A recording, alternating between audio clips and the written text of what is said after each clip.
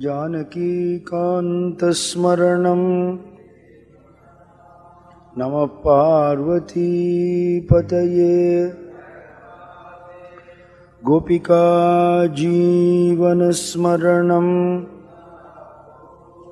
पोलापुण्डलीकवरद हरिविठ्ठल जगद्गुरुशङ्कराचार्यस्वामिकी सद्गुरु ज्ञानानंद गिरि भगवान की जय श्री गुरु महाराज की जय श्री महामाई की جی سوامی جی مہاراج کی۔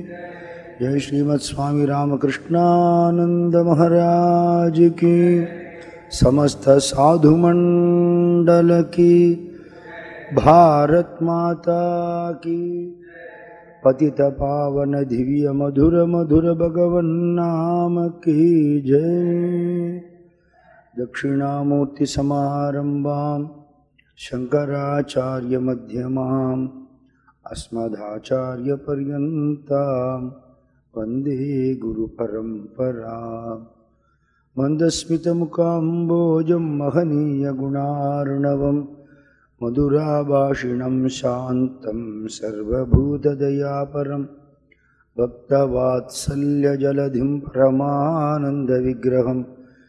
ज्ञानानन्दं प्रपन्नोऽस्मि निर्मलज्ञानसिद्धये ॐ स्थापकाय च धर्मस्य सर्वधर्मस्वरूपिणे अवतारवरिष्ठाय रामकृष्णाय ते नमः जननीं शारदां देवीं रामकृष्णं जगद्गुरुं پادو پرنر مہ شیند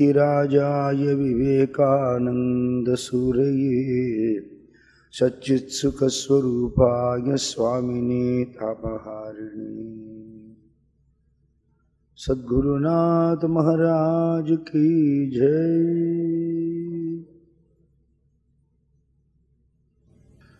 جانے பகவானுடைய கரங்களில் தான் ஒரு கருவியாக அவரால் இயக்கப்படுற ஒரு பொம்மையாக தன்னை உணர்வான்.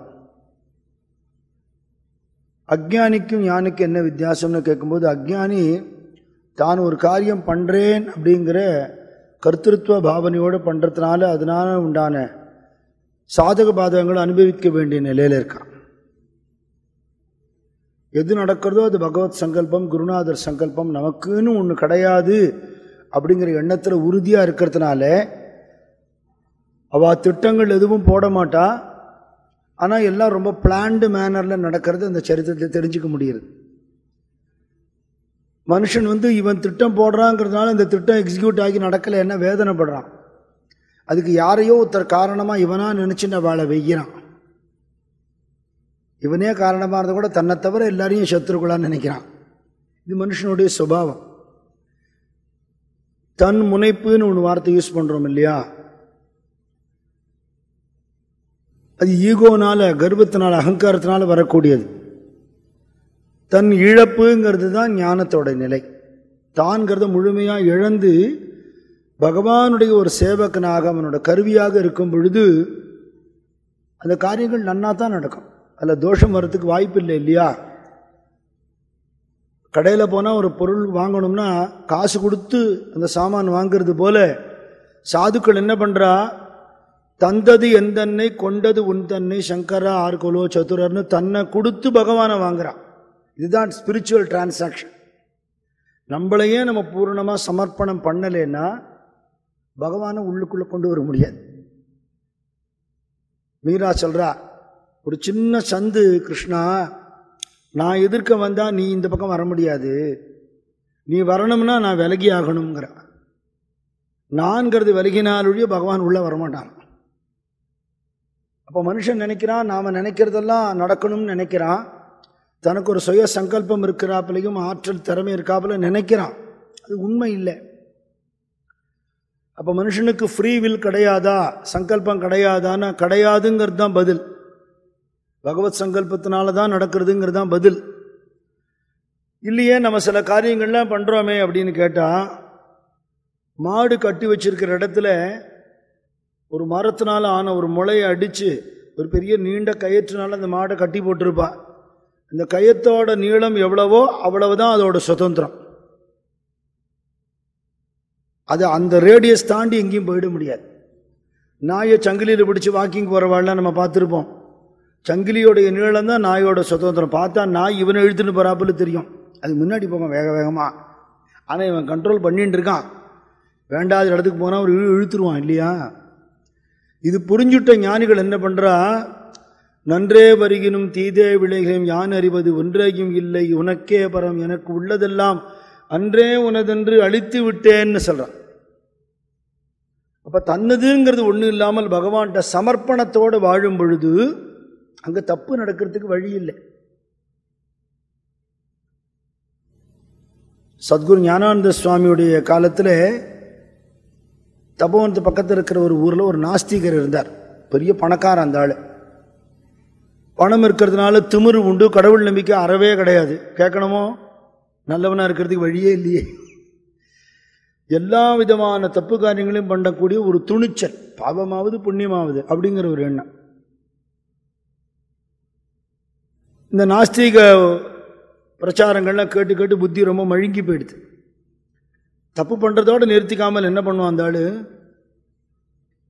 அக்கம் பக்கத்து ஊரில் யாராவது சாதுக்கள் மகாத்மாக்கள் வந்தால் அவளை ரொம்ப பவ்யமாக வேஷம் போடுறதுக்காகவே விபூதி இட்டுண்டு போய் ரொம்ப பணிஞ்சு வணங்கி நாளைக்கு நம்ம வீட்டுக்கு நீங்கள் வந்து பிக்ஷை பண்ணணும்னு கேட்பான்.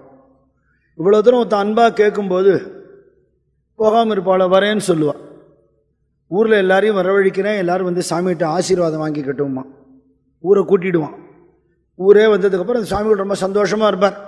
இவ்வளோ பெரிய ஒரு பெரிய மனுஷன் நமக்கு மரியாதை பண்ணுறானேன்னு பிட்சை சாப்பிட்றதுக்கு முன்னாடி ஒரு சின்ன சந்தேகம் கேட்டுக்கிறேன் அப்புறம் நீங்கள் பிட்சை பண்ணுங்கம்மா என்ன அவனன்றி ஓரணுவும் அசையாதுன்னு சொல்கிறாளே இது நிஜமான்னு கேட்பான்.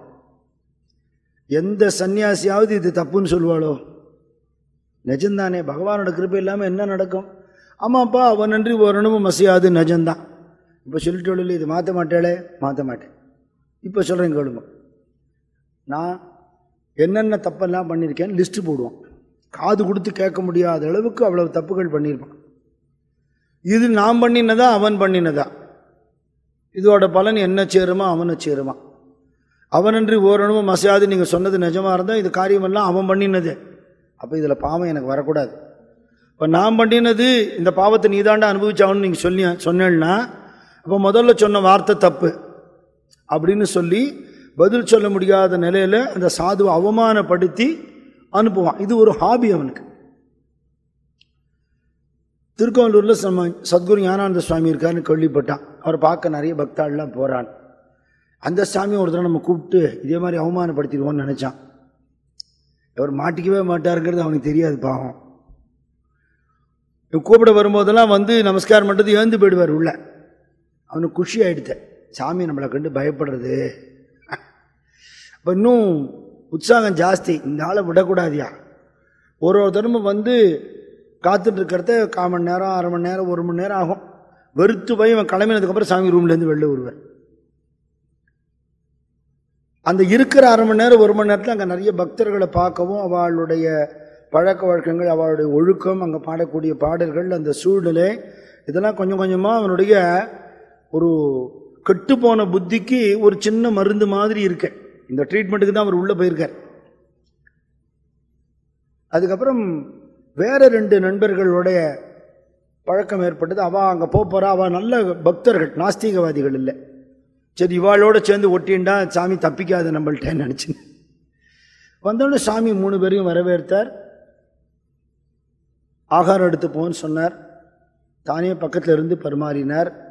அப்படி ஒரு அன்பும் ஒரு கருணையும் அனுபவிச்சா எல்லாரும்.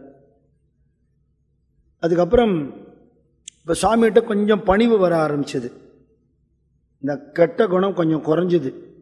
இப்போ கேள்வி கேட்டு குடையணும் அவமானப்படுத்தணுங்கிற எண்ணம் போய் இது நிஜமாகவே இந்த காரியங்கள்லாம் நம்ம பண்ணுறோமே இது சரியா தப்பா? இது பாவம் உண்டாங்கிற டவுட்டே வந்துடுச்சு கிண்டலில் இவா மூணு பேருக்கும் பிரசாதமெல்லாம் கொடுத்ததுக்கப்புறம் அங்கே கட்டட வேலை நடந்துட்டுருக்கு. அதை மேற்பார்வை பார்க்கறதுக்கு சுவாமி போயிட்டேன் இந்த ஆள் மெதுவாக போகிறார்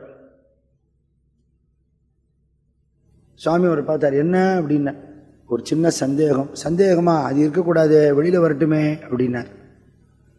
இந்த அவனன்றி ஓரண்டவும் அசையாதுன்னு சொல்கிறாளே அது நிஜந்தானா முக்காலும் உண்மை நிஜம் மாறுபாடு இல்லை. இங்கே தான் எனக்கு ஒரு சந்தேகம். என்ன சந்தேகம்?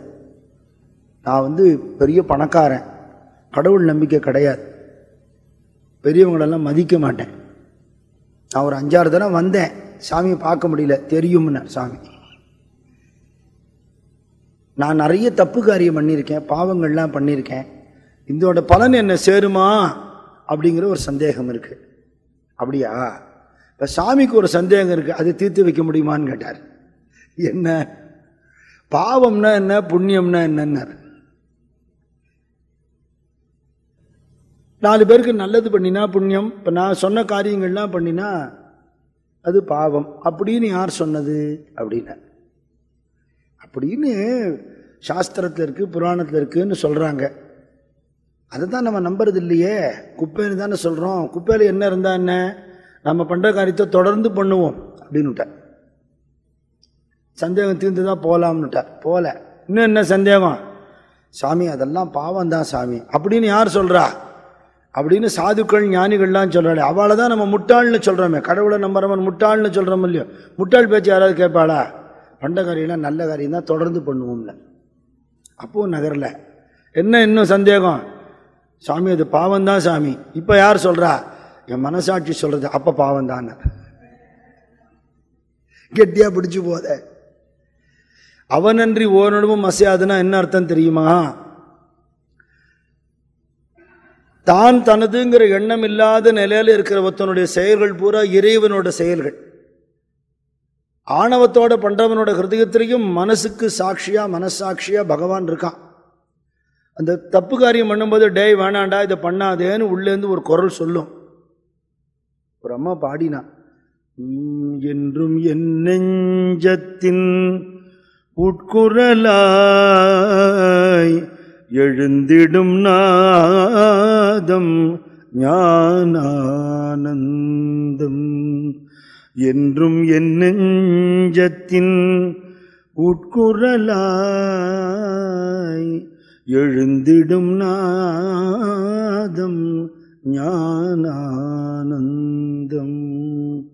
உள்ளும் புறமும் எங்கும் பறந்து ஒலித்திடும் நாதம் ஞானானந்தம்.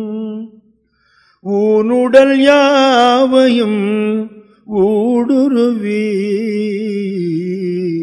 நிறைவாய் நின்றது ஞானானந்தம். ஞான வடிவமா ஆனந்த வடிவமா ஆத்மஸ்வரூபமா ஒத்தொத்தருக்குள்ளேயும் தெய்வம் இருக்கு. அது இருந்து சொல்றது டே இது பண்ணாதேன்னு. அதை மீறி ஒரு காரியம் பண்றது யாரு? நான்கிற ஆணவம். அதனால இந்த காரியத்தை நான் பண்ணினேன்னு சொல்றேன் இல்லையா? அப்ப அதோட பலன் உனக்கு உண்டுன்னு சார் நம்ம சுவாமிஜி விவேகானந்த சுவாமிஜி சென்னையில் இருந்தபோதே ஒரு சமயம் பக்தர்களோட பேசிட்டு இருக்கிறத தான் ஒரு அத்வைத்தின்னு சொன்னார் சுவாமி. அப்படின்னா என்னன்னு கேட்டார் ஒருத்தர். இறைவனோடு இரண்டரை கலந்த நிலைன்னு சொன்னார். இது ரொம்ப நன்னா இருக்கே சுவாமி. நீங்களே பகவான்னு சொல்லிட்டாலும் நீங்கள் தப்பு பண்ண யாரும் கேட்க முடியாது இல்லையான்னாரு. என்ன வேணால் பண்ணலாம். நான் தான் கடவுள். என்ன வேணால் பண்ணலாமே. அப்படி ஆகிடுமே அப்போ நீங்கள் தப்பு பண்ணால் தட்டி கேட்கறது யாருன்னார்? சுவாமிஜி பதில் சொல்கிறார் தான் இல்லாத கடவுளோட கலந்த நிலையில தப்பு நடக்க வாய்ப்பு இல்லைன்னு அவ்வளோதான் விஷயம். தப்புக்கு காரணமே ஆணவம் தானே அகங்காரம் தானே. செல்ஃப் சென்டர்டு மேனுங்கிறதுக்கும் செல்ஃப் ரியலைஸ்டு மேனுங்கிறதுக்கும் ஒரு வித்தியாசம் இருக்கும் இல்லையா? இல்லையா? இந்த தன்முனைப்பினால தான் அவ்வளவு தவறுகளும் நடக்கிறது. சுயநலத்தினால ஆணவத்தினால பாபமே நடக்கிறது. இதை விட்டுட்டவன் எவனோ அவன் சரீரத்துக்குள்ள பகவான் இருந்து காரியம் பண்ணது அவன் உணர்றதுனாலே என் செயலாவது ஒன்றுமில்லைங்கிற நேரம் இருக்கும். எல்லாம் பகவத் சங்கல்பம். ஆணவத்தை அழிக்கிறது தான் ஆன்மீகம். இத்தனை ப்ராசஸுமே ஆன்மீகத்தில் இருக்கிற இவ்வளவுமே எதுக்குன்னா அகங்காரம் இல்லாமல் இருப்பது. அதுதான் விஷயம். அது பலனை எதிர்பார்க்காத கர்மயோகமாக இருக்கட்டும் பகவான்கிட்டேயே உள்ளன்போடு இருக்கிற பக்தி யோகமாக இருக்கட்டும் உள்ளுக்குள்ளே பகவான் இருக்கான்னு உணர்ந்த நிலையில் செயலற்று இருக்க சிவ சிவயோகமாகும்னு திருமூலர் சொன்ன மாதிரி எங்கே எந்த நிலையில் இருக்கானோ அது ஞான யோகமாகும் ஒரு திட்டமிட்ட பிளான் இல்லை. ஆனால் இப்படி இருக்கிறதுனால ஞானிகள்லாம் சோம்பேறிகள்னு நினைக்கப்படாது அவள் பண்ணுற வேலையெல்லாம் நம்மளால் பண்ண முடியாது. இன்றைக்கி நடந்துருக்கிற நடந்த அத்தனை நன்மைகளும் சுயநலமில்லாத ஞானிகளோட உழைப்பு மட்டுமே. நம்மளை பார்த்துக்கிறதுக்கே நமக்கு நேரம் சரியாக இருக்குது பொது காரியம் என்ன பண்ணி கிழிச்சிட போகிறோம் சுயநலத்துக்கே நமக்கு இருபத்தி நாலு மணி நேரம் பத்த மாட்டேங்கிறது. நல்ல காரியங்கள் பண்ணுறதுக்கு எது துணுண்டு பண்ணிவிட்டு பண்ணிவிட்டேன்னு பெருமை பீத்திக்க முடியுமே தவிர மகத்தான காரியங்களை பண்ணிவிட்டு சுவடே இல்லாமல் இருக்கிற ஆஞ்சநேய சுவாமி மாதிரி இருக்குது எத்தனை பேரால முடியும்? இல்லையா? சுந்தரராமையர் வீட்டில் இருக்கும் பொழுது சென்னையில் அக்கௌண்டன்ட் ஜென்ரல் ஆஃபீஸில் ஏஜிஸ் ஆஃபீஸ் சொல்கிறோமோ இல்லையோ? அதில் அந்த அக்கௌண்டன்ட் ஜெனரலுக்கு அடுத்த பதவியில் இருந்த மன்மதநாத் பட்டாச்சாரியா அப்படின்னு ஒருத்தர் பெங்காலி. ஒரு மெட்ராஸில் தான் வேலை. ஆனால் எங்கெங்கெல்லாம் பிரிட்டிஷ் ராஜாங்கத்துடைய சட்டங்கள் செல்லுபடியாகுமோ அப்போ எப்படி இருந்ததுன்னா சில இடத்துல டைரெக்டாக பிரிட்டிஷ் கவர்மெண்ட்டே இருக்கும். சில இடத்துல பொம்மை மாதிரி ராஜா இருப்பான். அவன் அவன் பப்பட்டு மாதிரி அவன் அவன் பப்பட் ஷோ அவன் பண்ணிட்டு இருப்பான். வெள்ளக்காரன் சொல்லப்படி தான் நடக்கணும் அவங்க இந்த இந்த பிரிட்டிஷ் கவர்மெண்டோட அக்கௌண்டன்ட் ஜெனரல் அவள் அசிஸ்டண்ட் எல்லாம் பல இடத்துக்கு போவாள் அப்படி திருவனந்தபுரம் அவர் வந்திருக்கார். சுந்தராமையர் வீட்டில் சுவாமிஜி இருந்த காலகட்டத்தில் ஒரு ஒம்பது நாள் இருந்தார்னு சொன்னேன் இல்லையா? அப்போது இப்படி ஒருத்தர் பெங்காலி ஒருத்தர் வந்திருக்காருன்னு சுவாமி அவரை பார்க்க போனார். ஓ பெங்காலிக்கு பெங்காலி பார்க்க போகிறாளுன்னு இவன் நினச்சிண்டா வாஸ்தவத்தில் பார்த்தா அவரும் இவரும் ஒன்றா படித்தவா கிளாஸ்மேட்டு காலேஜ் மேட்டு அப்புறம் அவருடைய அப்பா வந்து பெரிய நியாய சாஸ்திரத்தில் பெரிய நிபுணர். அதனாலே சுவாமிஜிட்ட ரொம்ப அபிமானம் உள்ள அந்த குடும்பம். அடிக்கடி அங்கே போக ஆரம்பிச்சுட்டார். என்ன சுவாமிஜி காலங்காத்தால் அங்கே கிளம்பிட்டாலே எப்போ வருவேன்னு தெரியாதும்பர். சில சமயம் மத்தியானம் வருவார். உங்களுக்கு சமைச்சு வச்சுருக்கோமே நான் சாப்பிட்டாச்சே அப்படிம்பார். இது ரெண்டு மூணு நாளுக்கு மேலே ஆன உடனே இவர் கேட்டார் ஏன் இந்த மாதிரி பண்ணுறேன் நீங்கள் அப்படின்னார்.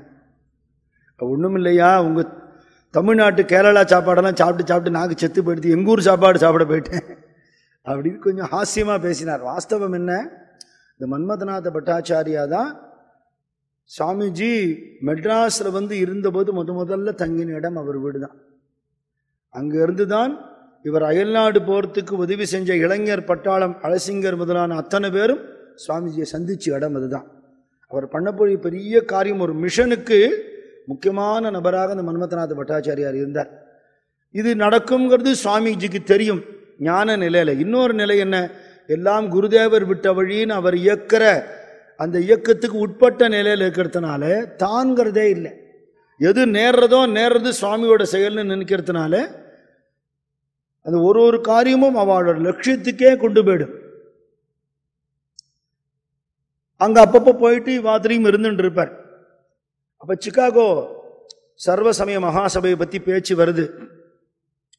அந்த பேச்சு வந்த நேரத்தில் வாஸ்தவத்தில் அங்கே போய் ஹிந்து மதத்துக்கு பிரதிநிதியாக யாராவது பேசத்தான் வேணும். ஹிந்துவில் விளம்பரம் வந்துருத்தான் எயிட்டீன் நைன்டி டூவில் ஹிந்து தர்மத்துக்கு ரெப்ரசன்டேட்டிவாக யாராவது வராளான்னு ஒருத்தர் கூட தயாராக இல்லை. ஃபாரின் போக தயாராக இருக்கிறவனுக்கு விஷயம் தெரியல. விஷயம் தெரிஞ்சவன் கடல் கடந்து போனால் ஜாதி போயிடுன்னு போக மாட்டேங்கிறான் ஆகக்கூடிய மற்ற மதங்களுக்கெல்லாம் ரெப்ரசன்டேஷன் இருக்குது ஹிந்து தர்மத்துக்கு ரெப்ரசன்டேஷன் இல்லை. அதுக்கு அவசியம் போய்த்தான் ஆகணும். நம்ம தர்மத்தோட பெருமையை நம்ம ரிஷிகளோட பெருமையை சனாதன தர்மத்தோட பெருமையை அங்கே சொல்லித்தான் ஆகணும் அப்படின்னு சுவாமிஜி சொல்கிறார் அதுக்கு ஒரு சந்தர்ப்பம் வருமானால் போகலாம்னு சொல்கிறார் அப்போ சுந்தராமையார் சொன்னார் எங்கள் ஊரில் நான் கொஞ்சம் மீட்டிங் நான் பப்ளிக் மீட்டிங் அரேஞ்ச் பண்ணுறேன் இங்கே எங்கள் வீட்டுக்கு வர்றவாட்டெல்லாம் பிரமாதமாக பேசுகிறேன் ஷேக்ஸ்பியர்லேருந்து பேசுகிறாள் காளிதாசன்லேருந்து பேசுகிறாள் அத்வைத தத்துவத்தை பேசுகிறாள் யூதர்களை பற்றி பேசுகிறாள் கிறிஸ்டியானிட்டி பற்றி பேசுகிறாள் இஸ்லாம் பற்றி பேசுகிறாள் யார் என்ன கேட்டாலும் பதில் சொல்ல முடியறது. பப்ளிக் மீட்டிங்கில் பேசினாள்னா இங்கே இங்கே எங்கள் வீட்டுக்கு வராதுவாலும் அதை கேட்பான் உங்களை பற்றி தெரிஞ்சுக்க முடியும். எனக்கு பொது கூட்டத்தெல்லாம் பேசி பழக்கம் இல்லை. வேண்டாம் அப்படின்னு. பெரிய பப்ளிக் மீட்டிங்கில் பேசினது இல்லை இது வரல இவர் கேட்குறார் இந்த திருவனந்தபுரத்து மீட்டிங்கில் பேச மாட்டேங்கிறாளே சிக்காகோவில் எப்படி பேச போகிறாள் ஒருவேளை போனேன்லாம் எப்படி பேசுவேன் சாமிஜி பதில் சொன்னார் நான் அங்கே போகணும் அங்கே பேசணும் அப்படிங்கிறது பகவானுடைய சங்கல்பமானால் அதுக்கான வழி அவரே பண்ணுவார்னுட்டு இதுதான் ஞானியுடைய பதில். போகணுங்கிற எண்ணம் இருக்கு. ஃபாரின் போகணுங்கிற எண்ணம் இல்லை. இந்த சர்வசமய மாநாட்டில் போய் அத்தனை தர்மங்களுக்கும் மேலானது நம்ம தர்மங்கிறத காட்டவும் மற்ற தர்மங்கள்லாம் இந்த தர்மத்தோட குழந்தைகள் தான்ங்கிறத நிரூபணம் பண்ணவும் அப்பேற்பட்ட தர்மம் இருக்கக்கூடிய இந்த பாரத தேசத்தை மட்டமாக வாழலாம் நினைக்கக்கூடாதுங்கிறதையும் இந்த ஜனங்களை அடிமைப்படுத்தி கேவலப்படுத்தி சோத்துக்கு வழி இல்லாத ஆக்கக்கூடாதுங்கிறத அவளுக்கு புரிய வைக்கணுங்கிறதையும் அவ பாரத தேசத்துக்கு பண்ண வேண்டியது உதவி இல்லை சேவை. அப்படிங்கிறத அவளுக்கு புரிய வைக்கிறதுக்கான ஒரு எண்ணம் இருக்குது ஆனால் சடார்னு மனசில் ஒரு எண்ணம் தோணி அதை செயல்படுத்துங்கிறது நம்மள மாதிரி மனுஷாளோட செயல். ஞானிகள் என்ன பண்ணுவான்னா அதுக்கு உத்தரவு வரட்டும்னு காத்துட்டு பகவானோட உத்தரவு கிடைக்கணும். அந்த தீர்மானம் ஆனதுக்கு அப்புறம் தான் அந்த காரியம் பண்ணுவா. இப்போ நம்ம பார்த்தோம் சரித்திரத்தில் எத்தனை இடங்களில் பண உதவி செய்கிறதுக்கு அந்த ராஜாக்கள் தயாராக இருந்திருக்கா? பணம் கொடுக்கறதுக்கு எவனும் தயாராக இருக்கான்? ஜம்முன்னு கப்பல் ஏறி போக வேண்டியது தானே? அதுக்கு இல்லை அவர். அதை போஸ்ட்போன் பண்ணிட்டே வந்தார். ராமநாத சுவாமி தரிசனம் பண்ணிட்டு அப்புறம் பார்க்கலாங்கிற பதில் சொல்லிட்டு வந்தார். அதுக்கான தருணம் இன்னும் வரல. அந்த தருணம் வராமல் ஒரு காரியம் பண்ண முடியாது. அதுக்கு உத்தரவு வேணுங்கிற எண்ணத்தில் அப்படி நான் போகணுங்கிற சங்கல்பமாக இருந்தால் அது நடக்கும்னு.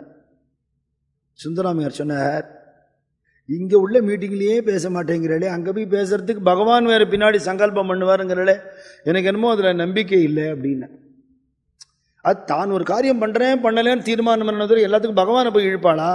அப்படிங்கிறது அவரோட எண்ணம். அடுத்த நிமிஷம் சுவாமிஜி அப்படியே எரிமறையாக பொறிஞ்சுவிட்டார். இது சுந்தரராமையர் எதிர்பார்க்கவே இல்லை. நீங்கள் ஆச்சார அனுஷ்டானம் இருக்காப்பில் காற்றல் பூஜை பண்ணுறத தவிர நீங்கள் ஒரு நாஸ்திகர்னு விட்டார் அவர் வீட்டில் உட்காந்துருக்கார் அவருக்கு என்ன பயம்? இல்லையா? அலக்ஷ அனாம அரூப அத்வய பராத்பருன்னு குருநாதர் வந்து எதுக்குமே கவலை கிடையாது குருநாதருக்கு. நீங்கள் ஒரு நாஸ்திகர்னுட்டார். எல்லா செயலும் பகவானால் செய்யப்படுறதுங்கிறத புரிஞ்சுக்க முடியலன்னா உங்கள் பூஜையோட பலன் என்னன்னு கேட்டார். பகவானோட கருணையில் என்ன வேணால் நடக்கும். இல்லையா? நம்ம ஸ்லோகம் சொல்கிறோமே மூக்கம் கருவத்தி வாச்சாலம் பங்கும் லங்கேதே கிரிம் எத் கிருபாதமகம் வந்தே பரமானந்த மாதவம்னு ஊமையை பேச வைக்கிறவர் முடவனை நடக்க வைக்கிறவர் சத்தியம் தானே இந்த ரெண்டு செயலுமே தபோவனத்தில் நடந்திருக்கு. ஊமையாக வந்த ஒரு குழந்தைய சுவாமி பேச வச்சுருக்கார். கால் முடியாமல் வந்த ஒருத்தர ட்ரீட்மெண்ட்டே இல்லைங்கிறவரை நடக்க வச்சுருக்கார். ஞானிகளால் என்ன முடியாது? பகவான் வேற ஞானி வேற இல்லையே. இப்போ குருநாதருடைய சங்கல்பத்தில் ஒன்று நடக்கணுங்கிற எண்ணமே தவிர தன்முனைப்புன்னு சொல்கிறாளே அப்போ உங்களுக்கு நாஸ்தீகத்தன்மை தான் இருக்குன்னு சத்தம் போட்டேன்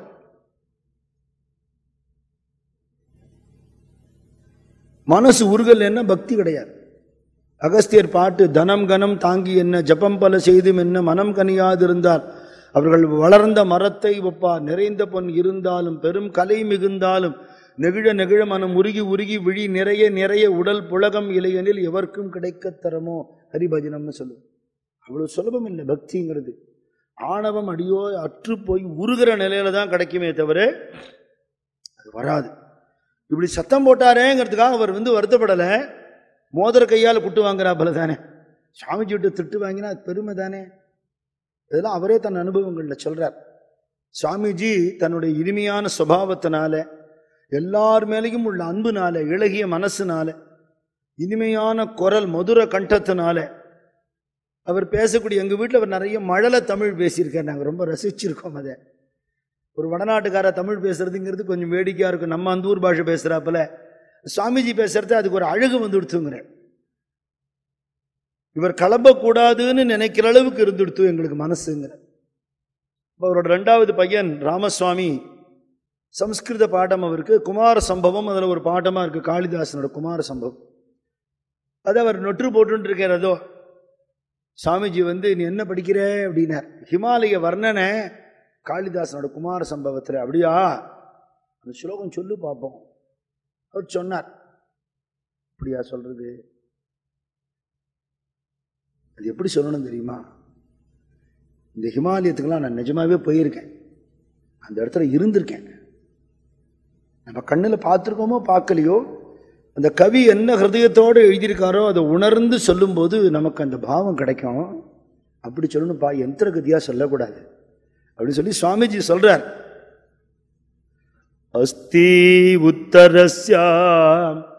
دش درتا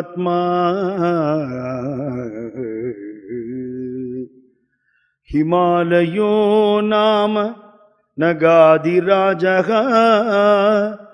پو میدو گھتیا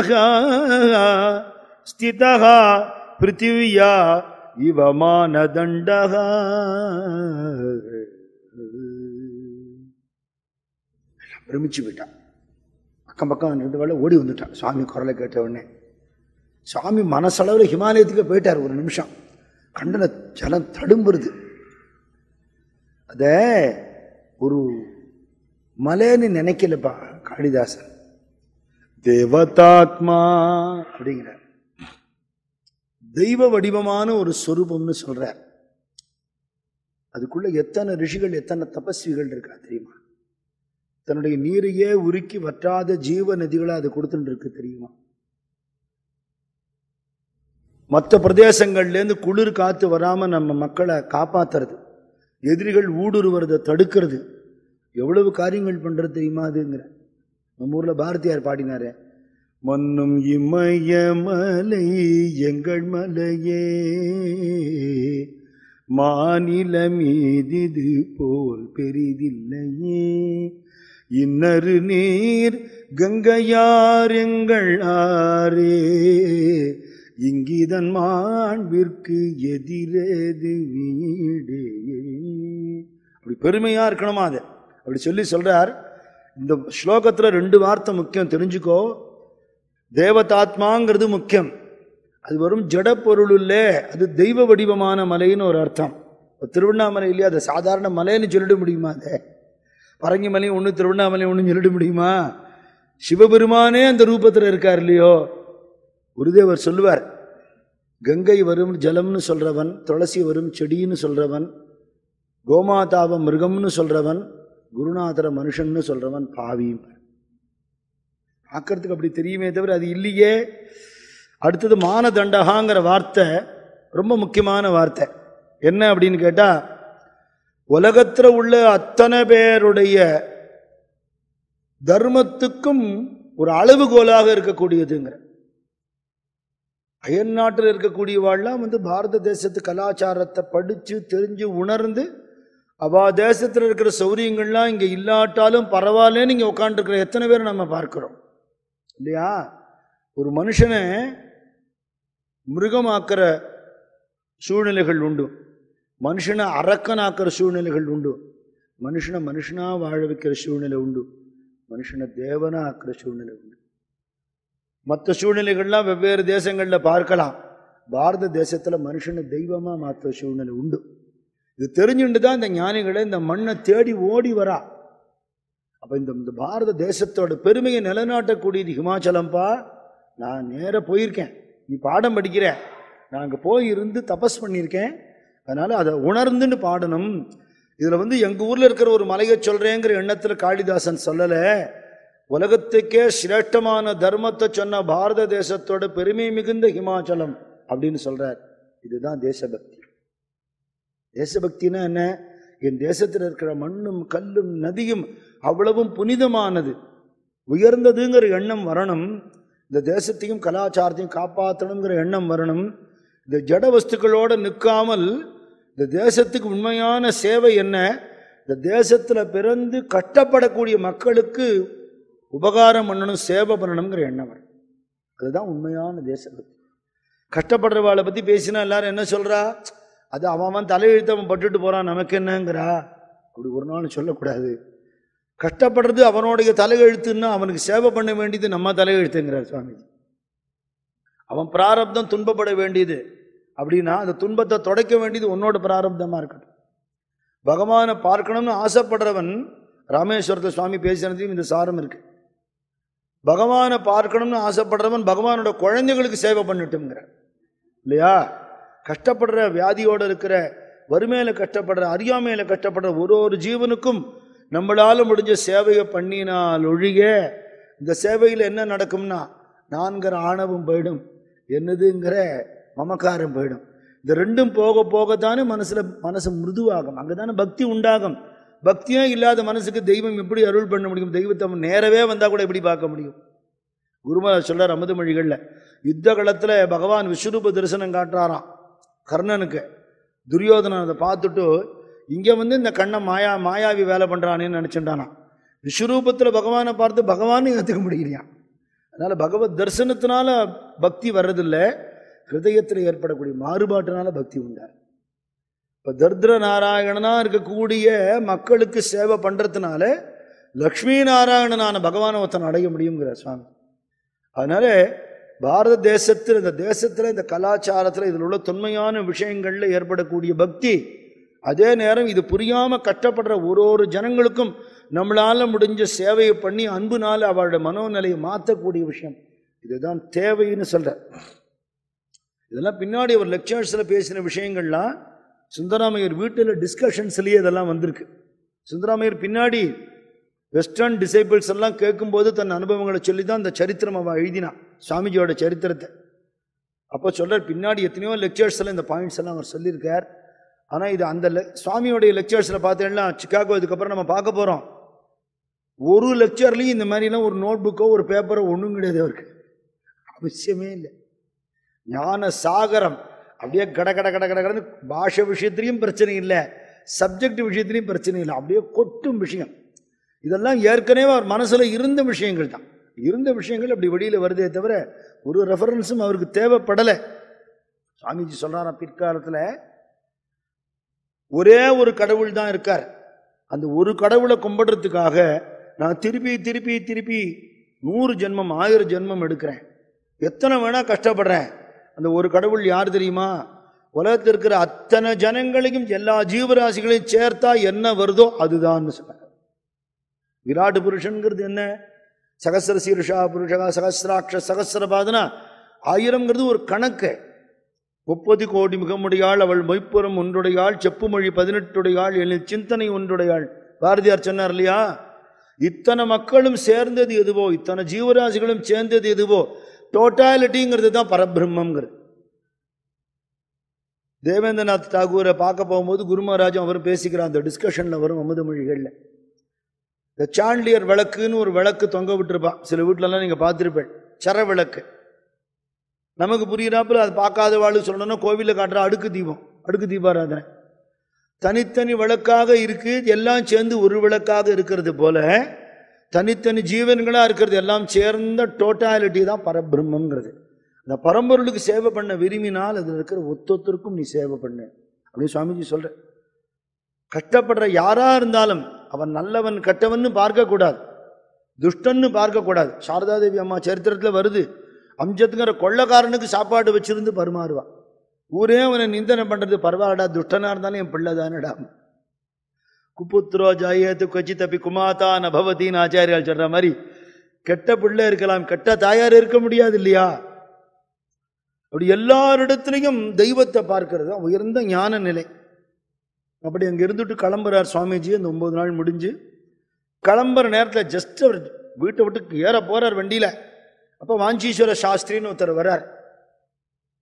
சுந்தராமையர் கேட்டார் ஏன் ஏன் இவ்வளோ நாள் விட்டு விட்டு இப்போ கிளம்புற நேரத்தில் வந்து பிராணம் எடுக்கிறீர்?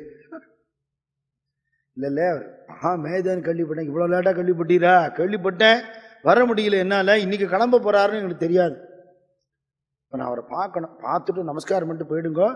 டிஸ்கஸ் எல்லாம் பண்ண உட்காராதீங்க அவரோட அப்படின்னு சுவாமிஜி அப்போ இறங்கி வந்துட்டார் படியிலேருந்து. மாடியிலேருந்து இறங்கி வரார் இது மாதிரி இவர் வந்திருக்கார். ஒரு வியாக்கரண பண்டிதர் உடனே அப்படியா? அப்படின்னுட்டு அப்படி இறங்கி திரும்பி வாத்துக்குள்ளேருந்து இப்படி வந்து வெளியில் வண்டியில் ஏறுறதுக்குள்ளே அவர்கிட்ட சமஸ்கிருதத்திலே பேசி வியாகரணத்தில் அவருக்கு இருக்கிற ஒரு டவுட்டு கிளியர் பண்ணிட்டு வண்டியில் ஏறிட்டு சுவாமி.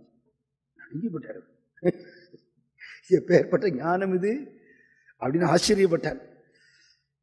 அங்கிருந்து சுவாமி கிளம்பின உடனே சித்தராமையர் சொல்கிறார் எங்கள் வீட்டில் இருந்த ஒரு ஜோதி கிளம்பினது மாதிரி ஆகிடுது வீடு சூன்யமாக போயிடுது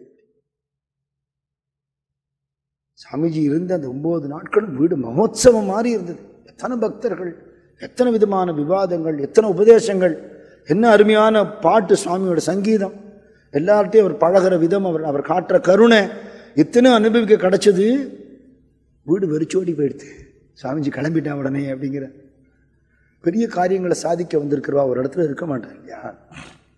இப்படி கிளம்பி மன்மதநாத் பட்டாச்சாரியாட்ட சொன்னார் நான் கன்னியாகுமரி போகணும்னார். கன்னியாகுமரியில் அம்பாள் தபஸ்வினியா இருக்கா இல்லையா? நீன கடலோரம் கன்னித்தாய் நின்னை கண்ட பின்னர் இந்த நானாவித உலகில் என் மனம் முன்னையே நாடுதம்மான்னு பாரதியார் சொல்கிறார் இல்லையா? அந்த அம்பாளை பார்க்கணும்னு ஒரு கண்ணம். ஐஷின் போகிறேன் அப்படின்னார் கிளம்பி கன்னியாகுமரி போனால் சென்னைக்கு தான் வரப்போறாவா? அதுக்கு முன்னாடி இவர் சென்னைக்கு வரார் மன்மத்நாத பட்டாச்சாரியர். கன்னியாகுமரி போகணும்னு சொன்ன உடனே இவர் அழிச்சுட்டு போகிறார் அங்கே போயிட்டு அம்பாளை தரிசனம் பண்ணினார். மற்றவாட்டெல்லாம் மனசில் இருக்கிற எண்ணங்களை பேசலாம். தெய்வத்துக்கிட்ட சமர்ப்பணம் தானே பண்ண முடியும். இல்லையா? அங்கே பேசுறதுக்கு என்ன இருக்கு? எல்லாத்தையும் உங்ககிட்ட வச்சுட்டேன். நீ எது சரியோ அது பண்ணு அப்படின்னு தானே சொல்லணும். இல்லையா? அம்பாள்கிட்ட பிரார்த்தனை பண்ணிட்டேன். நம்மளும் கோயிலுக்கு போய் பிரார்த்தனை பண்ணுறோம் அது பூரா நம்மளை பற்றினதாகவே இருக்கு. வேறு ஏதாவது கேட்க தெரியுமோ நமக்கு? தப்போ இல்லை ஞானானந்த சுவாமி சொல்லுவார். எல்லாரும் நான் நன்னா இருக்கணும்னு வேண்டிக்கிறா சுவாமி நன்னா இருக்கணும்னு யாரும் வேண்டிக்க மாட்டேங்கிறாங்க சாமி நன்னா இருக்கணும்னு என்ன அர்த்தம்? தர்மம் நன்னா இருக்கணும்னு அர்த்தம் இல்லையா? எல்லாரும் நன்றாக இருக்கணும் எல்லாரும் ஒன்றாக இருக்கணும் தான் பிரார்த்தனை. தேசத்துக்கு சுபிக்ஷம் உலகத்துக்கு சுபிக்ஷம் வந்தால் லோகா சமஸ்தா சிக்குனோ பவந்தூன்னுட்டாலே அது எல்லாம் அடங்கி போயிடுத்ததுல. நமக்கு தனியாக சொல்ல வேண்டிய அவசியம் இல்லையே. அம்பாள் கிட்ட இவருக்கு வேண்டிக்கிறதுக்கு என்ன இருக்குது தனிப்பட்ட முறையில் ஒன்றும் கிடையாது. என் வாழ்க்கையே தியாகம் பண்ணிட்டார்.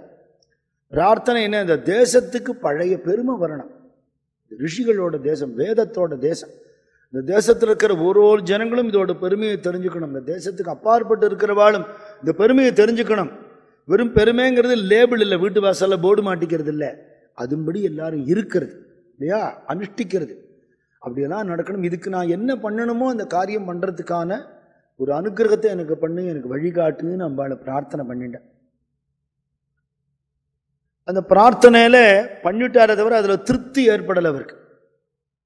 ஒரு கிரகஸ்தனை பக்கத்தில் வச்சு எவ்வளோ நேரம் நம்ம சன்னியாசி மாதிரிலாம் இருக்க முடியுமோ? அவனுக்கு வேலை வேலை இருக்குது ஏஜிசி ஆஃபீஸில் வேலை பார்த்துட்டு இருக்கான். கிளம்பணும்.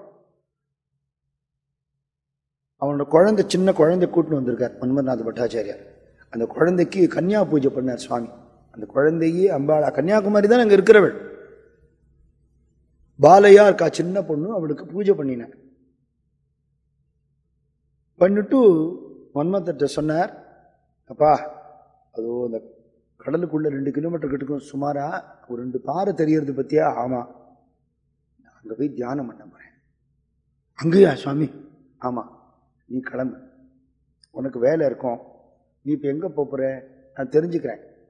நான் பாண்டிச்சேரி போயிட்டு சென்னை போகிறேன் சரி பகவத் சங்கல்பம் இருந்தால் நான் உன்னை பாண்டிச்சேரியில் வந்து பார்க்குறேன் நீ கிளம்பு எனக்கா நிற்காது நான் எப்போ இந்த ஊர்லேருந்து கிளம்புவேன்னு எனக்கு தெரியாது. அம்பாள் உத்தரவு வந்தால் தான் கிளம்புவேன்ட்டு. சுவாமிஜி பற்றி நன்னா தெரியும் இருக்கு எந்த கட்டுப்பாட்டுக்குள்ளேயும் அவளை வைக்க முடியாது. கிளம்பிட்டார். அங்கே கட்டுமருதுக்காரன்ட்ட கேட்டார் நான் அந்த பாறைக்கு போனோம். அதில் ரெண்டு பாறையில் ஒரு பெரிய பாறை இருக்குது இந்த பெரிய பாறையில் தான் அம்பாளே நின்று தபஸ் பண்ணதாக ஐதீகம். கோவிலில் இருக்கிறது அம்பாளுடைய அர்ச்சாவதார திருமேனி. அம்பாள் பிரத்யக்ஷமாகவே தபஸ் பண்ண இடம் அந்த பாறையில் அம்பாள் திருவடி பதிஞ்சு இன்றைக்கும் ஸ்ரீபாத பாறையில் பேர் இன்றைக்கும் இருக்குது ஒரு கண்ணாடி சட்டம் போட்டு ஃப்ரேம் பண்ணி வச்சுருப்பா அதை பார்க்கறதுக்காக. அம்பாள் பாதம் பதிஞ்சிருக்கும் அங்கே. அந்த படகுக்காரன் கட்டுமரக்காரெல்லாம் சொல்கிறான் காசு இருக்கா சாமின்னா? என்கிட்ட காசு இல்லைப்பா நான் சன்னியாசின்னு காசு இல்லாமல் கொண்டா விட மாட்டேன். பரவாயில்ல அவர் கவலைப்படுவாரன்னா. அது ஷார்ட் டிஸ்டன்ஸ் தான். ஆனால் அந்த ஷார்ட் டிஸ்டன்ஸில் எவ்வளவு அலை அடிக்கும்னு அங்கே போனவாளுக்கு தெரியும். படகுல போனாலே படகு கவுந்துடுமோங்கிற அளவுக்கு அலை அடிக்கும் அங்கே. இந்த அலையை விட பெரிய அலை உள்ள அடிச்சுட்டு இருக்கு. என்ன? இந்த ஜனங்களுக்கு நான் என்ன பண்றது? இந்த தேசத்துக்கு நான் என்ன பண்றது? அப்படிங்கிற ஒரு தாபம் அவருக்கு. குருமாராஜ் சொல்லுவார் கடவுளை பார்க்கறது ஒன்றும் சிரமம் இல்லை.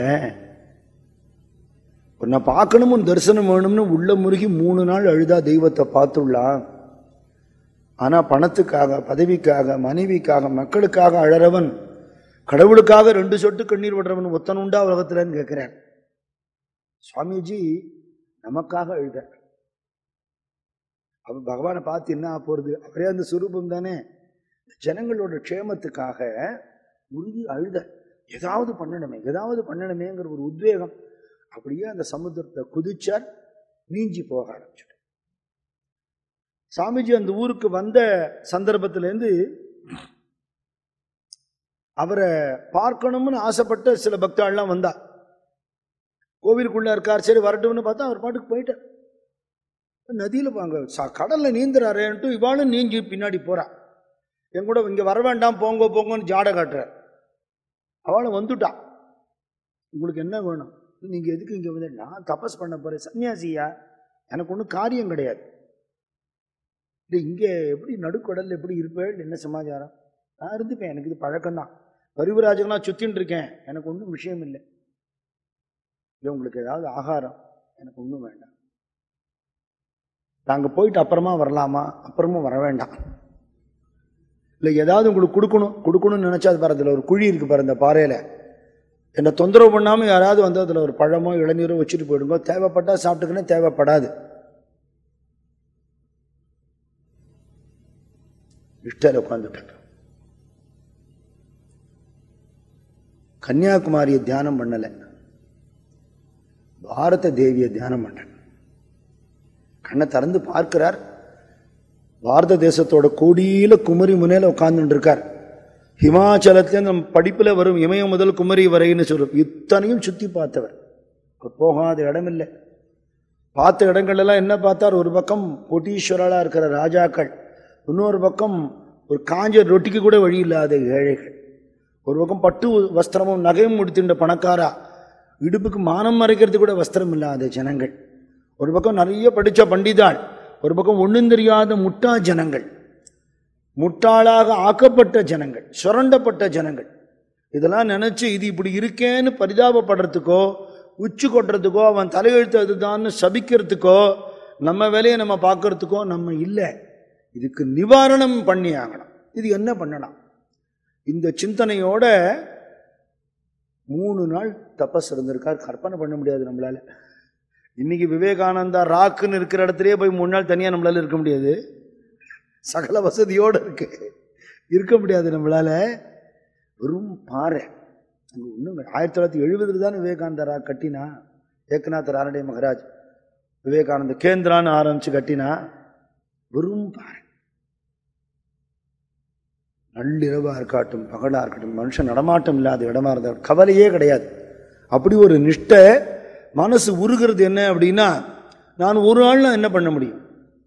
எனக்கு ஏகப்பட்ட பேர் வேணும். அப்படி ஏகப்பட்ட பேர் இருந்தால் கூட ஜனங்களுக்கெல்லாம் போய் அவளுக்கு நல்லறிவு சொல்லி கொடுத்து அவளுக்கு நாகரிகம் சொல்லி கொடுத்து நம்ம கலாச்சாரம் சொல்லி கொடுத்து கலாச்சாரத்தை சொல்லித்தரேன் நாகரிகம் சொல்லித்தரேன்னா பசிக்கிறவன்ட்டு போய் எடுபடாது. அவனுக்கு முதல்ல சோத்தை போடணும். இடுப்புக்கு வஸ்திரத்தை கொடுக்கணும். அவனுக்கு வாழ்கிற வழிக்கான தொழிற்கல்வியும் கொடுக்கணும். இதோட சரீரத்தோட உன் வாழ்க்கை நிற்கலை நீ ஆத்மஸ்வரூபம்னு புரிஞ்சுக்கிற ஆன்மீக கல்வியும் கொடுக்கணும். இது கொடுக்கறதுக்காக தன்னலமில்லாது உழைக்கக்கூடிய ஒரு துறவி கூட்டம் வேணும்னு நினைச்சார் சார் கிரகஸ்தன் வந்து தன்னை தானே பார்த்துப்பான். மிஞ்சி போனால் எங்கேயா நல்ல காரியம் நடந்தால் ஒரு ரூபா கொடுத்துட்டு வருவான். அந்த ஒரு ரூபாய்க்கு ஆயிரம் கணக்கு கேட்பான். தன்னலமில்லாத சன்னியாசி தானே பண்ண முடியும்? ஒரு தடவை உஞ்சிவர்த்தி பஜனை போயின்னு இருக்கோம். ஒரு உற்சவம் நடத்துறதுக்காக உஞ்சிவர்த்தி எடுத்துட்டு இருக்கோம். அப்போ நான் வேலை பார்த்துட்டு இருந்தேன். அஞ்சு ரூபா கொடுத்தார் ஒருத்தர். ரசீட் கொடுக்க முடியுமான்னு. தரேன். எங்கே இருக்க? வீடு எங்க? நான் அடுத்த தெருவில் தான் இருக்கேன். அட்ரஸ் என்ன? பேர் என்ன? எங்கே வேலை பார்க்குற? அஞ்சு ரூபாய்க்கு. இதுதான் மனுஷனோட குணம். இந்த மாதிரி ஆட்களை வச்சுன்னு என்ன வேலை வாங்க முடியும்? சுயநலமே இல்லாமல் மனுஷ ஜென்மா எடுத்ததோட பிரயோஜனம் ஆத்மனோ மோட்சதாம் ஜெகத் ஹிதாயச்சன்னு அடுத்தவாளுக்கு பண்ணக்கூடிய சேவைங்கிறதுனால என்னுடைய ஆத்மாவுக்கு நான் க்ஷேமம் தேடிக்கிறேனுங்கிறவன் எவனோ அவனை வச்சு தான் வேலை வாங்கணும். இப்போ துறவிகள் கூட்டம் ஒன்று வேணும். தன்னலமில்லாத சன்னியாசிகள் அவ அந்த தேசத்துக்காக தேசத்தில் இருக்கிற ஒரு ஒரு ஜனங்களும் ஏழைகள் வறுமையில் இருக்கிறவா வியாதியில் இருக்கிறவா அவளுக்கு உதவி செய்யறங்கிற எண்ணம் இல்லாமல் பகவான் இந்த ரூபத்தில் இருக்கான்னு புரிஞ்சுண்டு சேவை பண்ண தயாராக இருக்கக்கூடியவா. அந்த சேவையில் என்ன கஷ்டம் வந்தாலும் பொறுத்துக்க தயாராக இருக்கிறவா. அப்படிப்பட்ட ஒரு கூட்டத்தை வச்சுக்கணும். வச்சுண்டு ஊர் ஊராக சுவாமிஜி நிறைய லெக்சர்ஸில் பின்னாடி சொல்கிறார் ஒரு ஒரு ஊர்லேயும் ஒரு சின்ன குடிசையில் குருமகராஜோட திருவுருவத்தை வைங்கும் எல்லா மக்களும் வந்து வழிபட்டுட்டோம் யாருக்குமே தடையே கிடையாது. தெய்வீகத்தை உணர்றதுக்கு யாருக்குமே தடை கிடையாது. அப்படி வர வரக்கூடிய மக்களுக்கு என்னென்ன வேணுமோ வாழ்வாதாரம் என்ன உண்டோ அதை நம்ம கொடுக்கணும். அதை வாங்கிட்டு அவன் அந்த நன்றியோடு அந்த குருவை நினைப்பான். அவனோட உலக வாழ்க்கையும் மேம்படணும் உலக தாண்டின ஆன்மீக வாழ்க்கையும் மேம்படணும். இந்த எண்ணங்கள் மனசில் ஓட ஓட ஓட இது எப்படி பண்ணுறது இந்த கடலெல்லாம் கடந்து கடல் கடந்து நான் போய் இந்த தர்ம பிரச்சாரம் பண்ணி அதுலேருந்து கிடைக்கிற திரவியத்தை பயன்படுத்தி கொண்டு தன்னலமில்லாத ஒரு சன்னியாசி கூட்டத்தை வச்சு ஒரு ஸ்தாபனம் ஆரம்பித்து அது மூலமாகவே இந்த காரியம் பண்ணணும். இந்த மாதிரியான எண்ணங்களோட மூணு நாளுக்கு கடும் தபசு சுவாமிஜி. மூணாவது நாள் அவருக்கு அம்பாள் வழி காட்சிட்டான். போலாமா வேணாமாங்கிறதுல போலாம்ங்கிற ஒரு எண்ணம் ஏற்பட்டது. இதுக்கப்புறமா அவர் ரெண்டு உத்தரவு எதிர்பார்க்கிறார் அது பின்னாடி கிடைக்கிறது. குருமராஜோட உத்தரவு அம்மாவோட உத்தரவு எல்லாம் பின்னாடி அவர் எதிர்பார்க்கிறார் அதுவும் கிடைக்கிறது. மூணு நாள் கழித்து சுவாமி தபசை முடிஞ்சு அவர் கண்ணு திறந்த உடனே அதை காத்துன்னு இருந்த பக்தர்கள் பாவம் கரையிலேயே வச்ச பழத்தை கூட சாப்பிட மாட்டேங்கிறார். பால் வச்சா புளிச்சு போயிடுறது இளநீர் சீந்தறதுக்கு ஆள் இல்லை பசி இல்லை தாகம் இல்லை தூக்கம் இல்லைன்னு இப்படி கூட ஒரு சுவாமிகள் உண்டா எங்கேயாவது? இந்த சின்ன வயசில் அப்படி உட்காந்துட்டு இருக்காரு. ஒரு கண் திறந்த உடனே அதுக்காகவே காத்துட்டு இருந்து கட்டுமரத்தை எடுத்துட்டு போய் சுவாமிஜி அங்கேருந்து அழைச்சிட்டு வந்தா. தபசனால தளர்வு ஒன்றுமே இல்லை. இல்லையா? ஒரு தளர்வும் இல்லை. குருமராஜோட காலத்தில் இந்த பிரம்ம சமாஜத்தை சேர்ந்த சிவநாத் சாஸ்திரிங்கிறவர் ஒரு தடவை கமெண்ட் அடித்தாராம் அவர் அம்பாளை நினச்சி நினச்சேன்னா அவள் உருவத்தையும் ஒத்துக்க மாட்டான். தெய்வ வழிபாட்டு சகுன உபாசனை ஒத்துக்க மாட்டான். அம்பாள் அம்பாள்னு சொல்லி சொல்லி அவருக்கு பைத்தியம் பிடிச்சி போயிடுத்துன்னு சொன்னாராம். குருமராஜ் இது யாரோ அவர்கிட்டயே சொல்லிட்டான். சிவநாத சாஸ்திரி அன்னைக்கு வந்தார். அவளுக்கெல்லாம் ஆனால் திட்டுவாளை தவிர இவர் கண்டா ரொம்ப பிடிக்கும். இவரோட பேச்சு கேட்காம இருக்க முடியாது வந்துடுவா அப்படி சொன்னார் என்ன சிவநாத சாஸ்திரி இப்படி சொன்னேலாமே என்ன வில வளர்த்து போயிட்டார். நான் அவர் கேட்டுக்கிறேன். ஆனந்தமே வடிவமான அறிவே வடிவமான சின்மயமான அம்பாளை நினைச்சு ஒருத்தனுக்கு பைத்தியம் பிடிக்கிறதுக்கு வழி உண்டான்னு கேட்டார். அறிவே வடிவமான வள்ளியா அவளை நினைச்சா அறிவு இல்லாமல் போக முடியாது. அப்போ ஆனந்தமான தெய்வத்தோட தொடர்பு ஏற்படுறது. ஏன்னா நான் என்ன பண்ணணுங்கிறத தேவி எனக்கு சொன்னாள்ங்கிறார் சுவாமிஜி. அம்பாள் எனக்கு சொன்னாள். ஆச்சரியப்படுறதுக்கு என்ன இருக்கு? மூணு நாளைக்கு இப்படி ஒரு தப்பஸ் அப்பேற்பட்ட ஒரு பக்தர் பண்ணினா அவளுக்கு அந்த தெய்வம் அனுகிரகம் பண்ணாமல் என்ன செய்யும்? அந்த அனுகிரகங்கிறது அவருக்கான அனுகிரகம் இல்லை. உலகத்துக்கான ஒரு அனுகிரகம். அவருக்கு ஒரு தெளிவு ஏற்பட்டது. என்னென்ன பண்ணணுங்கிறது இந்த சந்தர்ப்பத்தில் சரித்திரத்தில் என்ன பண்ணுறா சுவாமிஜியோட பரிவிராஜக வாழ்க்கையில் நடந்த எந்த நேரத்தில் எந்த ஊரில் நடந்ததுங்கிறது சில சமயம் தெரியறது சில சமயம் தெரியாத பொதுவான சில சம்பவங்கள் எல்லாம் சேர்த்து நூலாசிரியர்கள் இந்த இடத்துல கொடுக்குறா. இதெல்லாம் பின்னாடி சுவாமியுடைய சரித்திரத்திலேயே நிறைய சம்பவங்கள் அவர் சொல்லி வந்ததில்லை. அவர் எங்கே இருந்தாரோ அங்கே அந்த இருந்தவாளை தேடி பின்னாடி சிஷ்யால் தேடி கண்டுபிடிச்ச சம்பவங்கள் தான். சில சம்பவங்களை அவர் உபன்யாசத்தில் நடுவில் சொல்லியிருக்கார். அது குரோனலாஜிக்கல் ஆர்டராக ஃபார்ம் பண்ண முடியாதனால அதை கலெக்டிவாக தனியாக சொல்கிறார் இது பரிவராஜுக்கு வாழ்க்கை முடிஞ்சு அதுக்கப்புறம் அவர் சென்னை வந்து பாண்டிச்சேரி வந்துட்டு சென்னை வந்து இதுக்கப்புறம் அவர் கிளம்புறது தான் வரப்போகிறது சரித்திரத்தில். அப்போ அதுக்கு முன்னாடி சில சம்பவங்கள்லாம் சொல்கிறார் சுவாமியுடைய பரிவராஜுக்கு வாழ்க்கையில் யாரோ காசு கொடுத்தா வாங்கிக்க மாட்டார் நம்ம பார்த்தோம். உதவி செய்யணும்னா எனக்கு ஒரு டிக்கெட் வாங்கி கொடு ட்ரெயினுக்கு இந்த ஊருக்குன்னு சொல்லுவார். அந்த டிக்கெட் மட்டும் வாங்கிப்பார். அப்படி ஏறி ஒரு உத்தரப்பிரதேசில் போயின்னு போ- ஒரு பக்கமாக ட்ரெயினில் போயின்னு இருக்கிறத அவர் எதிர்க்க ஒரு சேட்ஜி உட்காண்டிருக்கான் அவன் பார்க்குறான். சாமியார்னாலே சோம்பேறின்னு ஒரு எண்ணம் அவளுக்கு. உழைக்காம தியானம் பண்ணேன்னு கண்ண முடி உட்காந்துன்னு ஏமாந்த ஜனங்கள்டேருந்து காசை வசூல் பண்ணிட்டு ஆனால் அப்படி ஒரு சில பேர் இருக்கிறதுனால எல்லாருக்கும் கெட்ட பேர் வருது. ஒரு செய்தி ஒன்று படித்தேன் ஒரு கோவில் குருக்கள் வந்து சில திருட்டலை மாட்டின்றாருன்னு படித்தேன் வேதனையாக இருந்தது. தெய்வத்தை வழிபட்டு பூஜை பண்ண வேண்டியவா? தெய்வ நம்பிக்கை இல்லைங்கிறதுனால தான் இந்த தெய்வத்தை விற்கிறதுக்கு உனக்கு தைரியம் வருது. இப்படி ஒத்தர் பண்ணுறதுனால எவ்வளோ பேருக்கு கெட்ட பேர் உண்டாருது இல்லையா? ஆஸ்திகவாதி ஒருத்தன் பண்ணுறான் அந்நிய மதத்துக்காரன் ஒருத்தன் பண்ணினான்னா அவனுக்கு அது பாவங்கிற எண்ணமே இல்லை. இத்தனை வருஷமா பூஜை பண்ணி நீ வழிபட்ட தெய்வத்தை நீ விலைக்கு விற்கிற இத்தனை லட்சத்துக்கு அப்படின்னுட்டா எப்பேற்பட்ட பாபம்னா அப்படி ஆயிடுத்தே. சந்நியாச வஸ்திரம் எவ்வளோ உயர்ந்த வஸ்திரம். அவ்வளோ சுலபமாலாம் அந்த நிலை வந்துடுமா? ஆனால் அது அது புரியாமல் நிறைய பேர் தப்பு பண்ணுறதுனால காவியெல்லாம் எல்லாரும் கட்டிக்கவே கூடாது.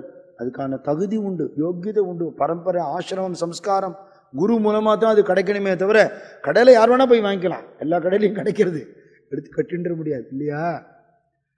இவன் நினைக்கிறான் சோம்பேறின்னு நினைக்கிறான். பிரயோஜி சின்ன வயசு வேற. இவன் படிக்காம படிக்காமல் ஓடி வந்திருப்பான் போல் இருக்கு. சன்னியாசின்னு உட்காண்டிருக்கான் பார். யாராவது கொடுத்தா தானே இவனுக்கு சோறு அப்படின்னு நினச்சிட்டு இவனுக்கு மூணு வேளைக்கு ஆறு வேலைக்காக சாப்பிட்ற ரொம்ப நல்ல மனுஷன் அவன். பெரிய பெரிய கேரியரில் விதவிதமாக வச்சுட்டுருக்கான் அதை சுவாமிஜி எதிர்க்கே சாப்பிட்றான். சாப்பிட்றது அவருக்கு டெம்ட் ஆறுதான்னு பார்க்குறான். அவர் லட்சியமே பண்ண மாட்டார். என்ன சன்னியாசி நீ சாப்பிடலையா அப்படின்னா இல்லைன்னு தலையாட்டினார். யாரோ கொடுத்தா தானே உனக்கு உண்டு? உழைக்கிறவன் சம்பாதிக்கிறவனுக்கு ஆகாரம் கிடைக்கும். நீ பிச்சை எடுத்து பழைக்கிறவன் எவனா இறக்கப்பட்டா தானே உண்டு? ஆனால் நான்லாம் இறக்கப்பட மாட்டேன். எனக்கு பிச்சைக்கார சாமியார்லாம் கண்டா பிடிக்காது எனக்கு. நான் வியாபாரம் பண்ணுறேன் உழைக்கிறேன் சம்பாதிக்கிறேன் பார். எவ்வளோ எத்தனை பூரி திங்குறேன் பார். எவ்வளவு லட்டு திங்குறேன் பார். உனக்கெல்லாம் நான் கொடுக்க மாட்டேங்க அவர் பதிலே சொல்லலை. இவன்ட்டு என்ன பேச்சு? பேசாமல் இருக்க. தாரி காட்டுக்குன்னு ஒரு ஊர் வந்தது. அந்த ஊர் வந்த சுவாமிஜி இறங்கிட்டார். இவனும் அங்கே தான் இறங்கணும் போல் இருக்கு. இவனோட லக்கேஜ் எல்லாம் இவனுக்கு ஆள் இருக்குது லக்கேஜ் எல்லாம் எடுத்துட்டு அந்த ஊர்லேருந்து எவனோ வந்திருக்கான். எல்லாத்தையும் எடுத்து ஏகப்பட்ட சாமான்கள். சில பேர் கிளம்புவா ட்ரெயினில் பார்த்தா இங்கேருந்து டெல்லி போனால் மெட்ராஸை பேத்து எடுத்துன்னு போவா. அங்கேருந்து டெல்லியை பேர்த்து எடுத்துன்னு வருவா. ஒரே ஒரு டிக்கெட் வாங்கிட்டு ட்ரெயின் பூரா லக்கேஜாக அடுக்கியிருப்பான். அவ்வளவு ஆசை. லக்கேஜுங்கிறது என்ன? டிசையர்ஸ் தானே. இவன் இறங்கினான் இறங்கினோடனே அங்கே ரயில்வே ஸ்டேஷனில் ஒரு ஷெல்டர் இருக்குது அதில் ஒரு சிமெண்ட் பெஞ்ச் இருக்குது அங்கே போய் உட்காண்டான் இவர் மெதுவாக போய் அங்கே ஒரு ஓரமாக உட்கார போனார். ஒரு போர்ட்டரை பார்த்தான். போப்போ இங்கே உட்காராத போ அப்படின்னு வரட்டினான் சுவாமிஜியை அவன்கிட்ட ஒன்றும் பேசலை. வெயிலில் போய் உட்காந்துட்டான் இவன் தி- ஜீரணம் ஆயிடுதா இல்லையான்னு தெரியல பாவம். இவன் அடுத்த கேரியர் ஓப்பன் பண்ணி சாப்பிட்றான். இவரை பார்த்து சொல்கிறான் பார் நான் உழைக்கிறேன் சம்பாதிக்கிறேன். எனக்கு நிழல் கிடைக்கிறது ஆகாரம் கிடைக்கிறது சேவை பண்ணுறதுக்கு ஆள் இருக்கு. நீ சோம்பேறியாக பிச்சை எடுக்கிற. உனக்கு வெயிலும் பசியும் தாகமும் தான். தெரிஞ்சுக்கோ அப்படின்னு வெய்யிறான் ரியாக்டே பண்ணலை.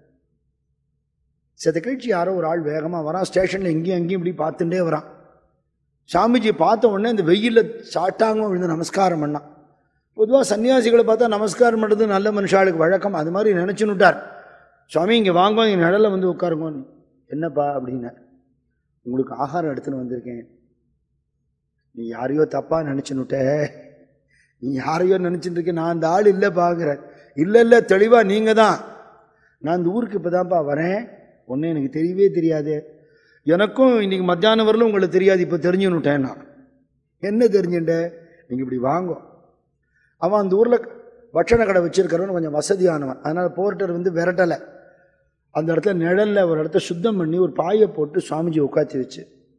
இலையை போட்டு சுட சுட பூரியிலேருந்து பட்சணங்கள்லேருந்து எல்லாம் பரிமாறுறான். அவருக்கு ஒன்றுமே புரியல. சடார்னு வச்ச உடனே சாப்பிட்றவர் இல்லையே. எதுக்கு இதெல்லாம் நீ கொடுக்குறேன்னு கேட்டார்.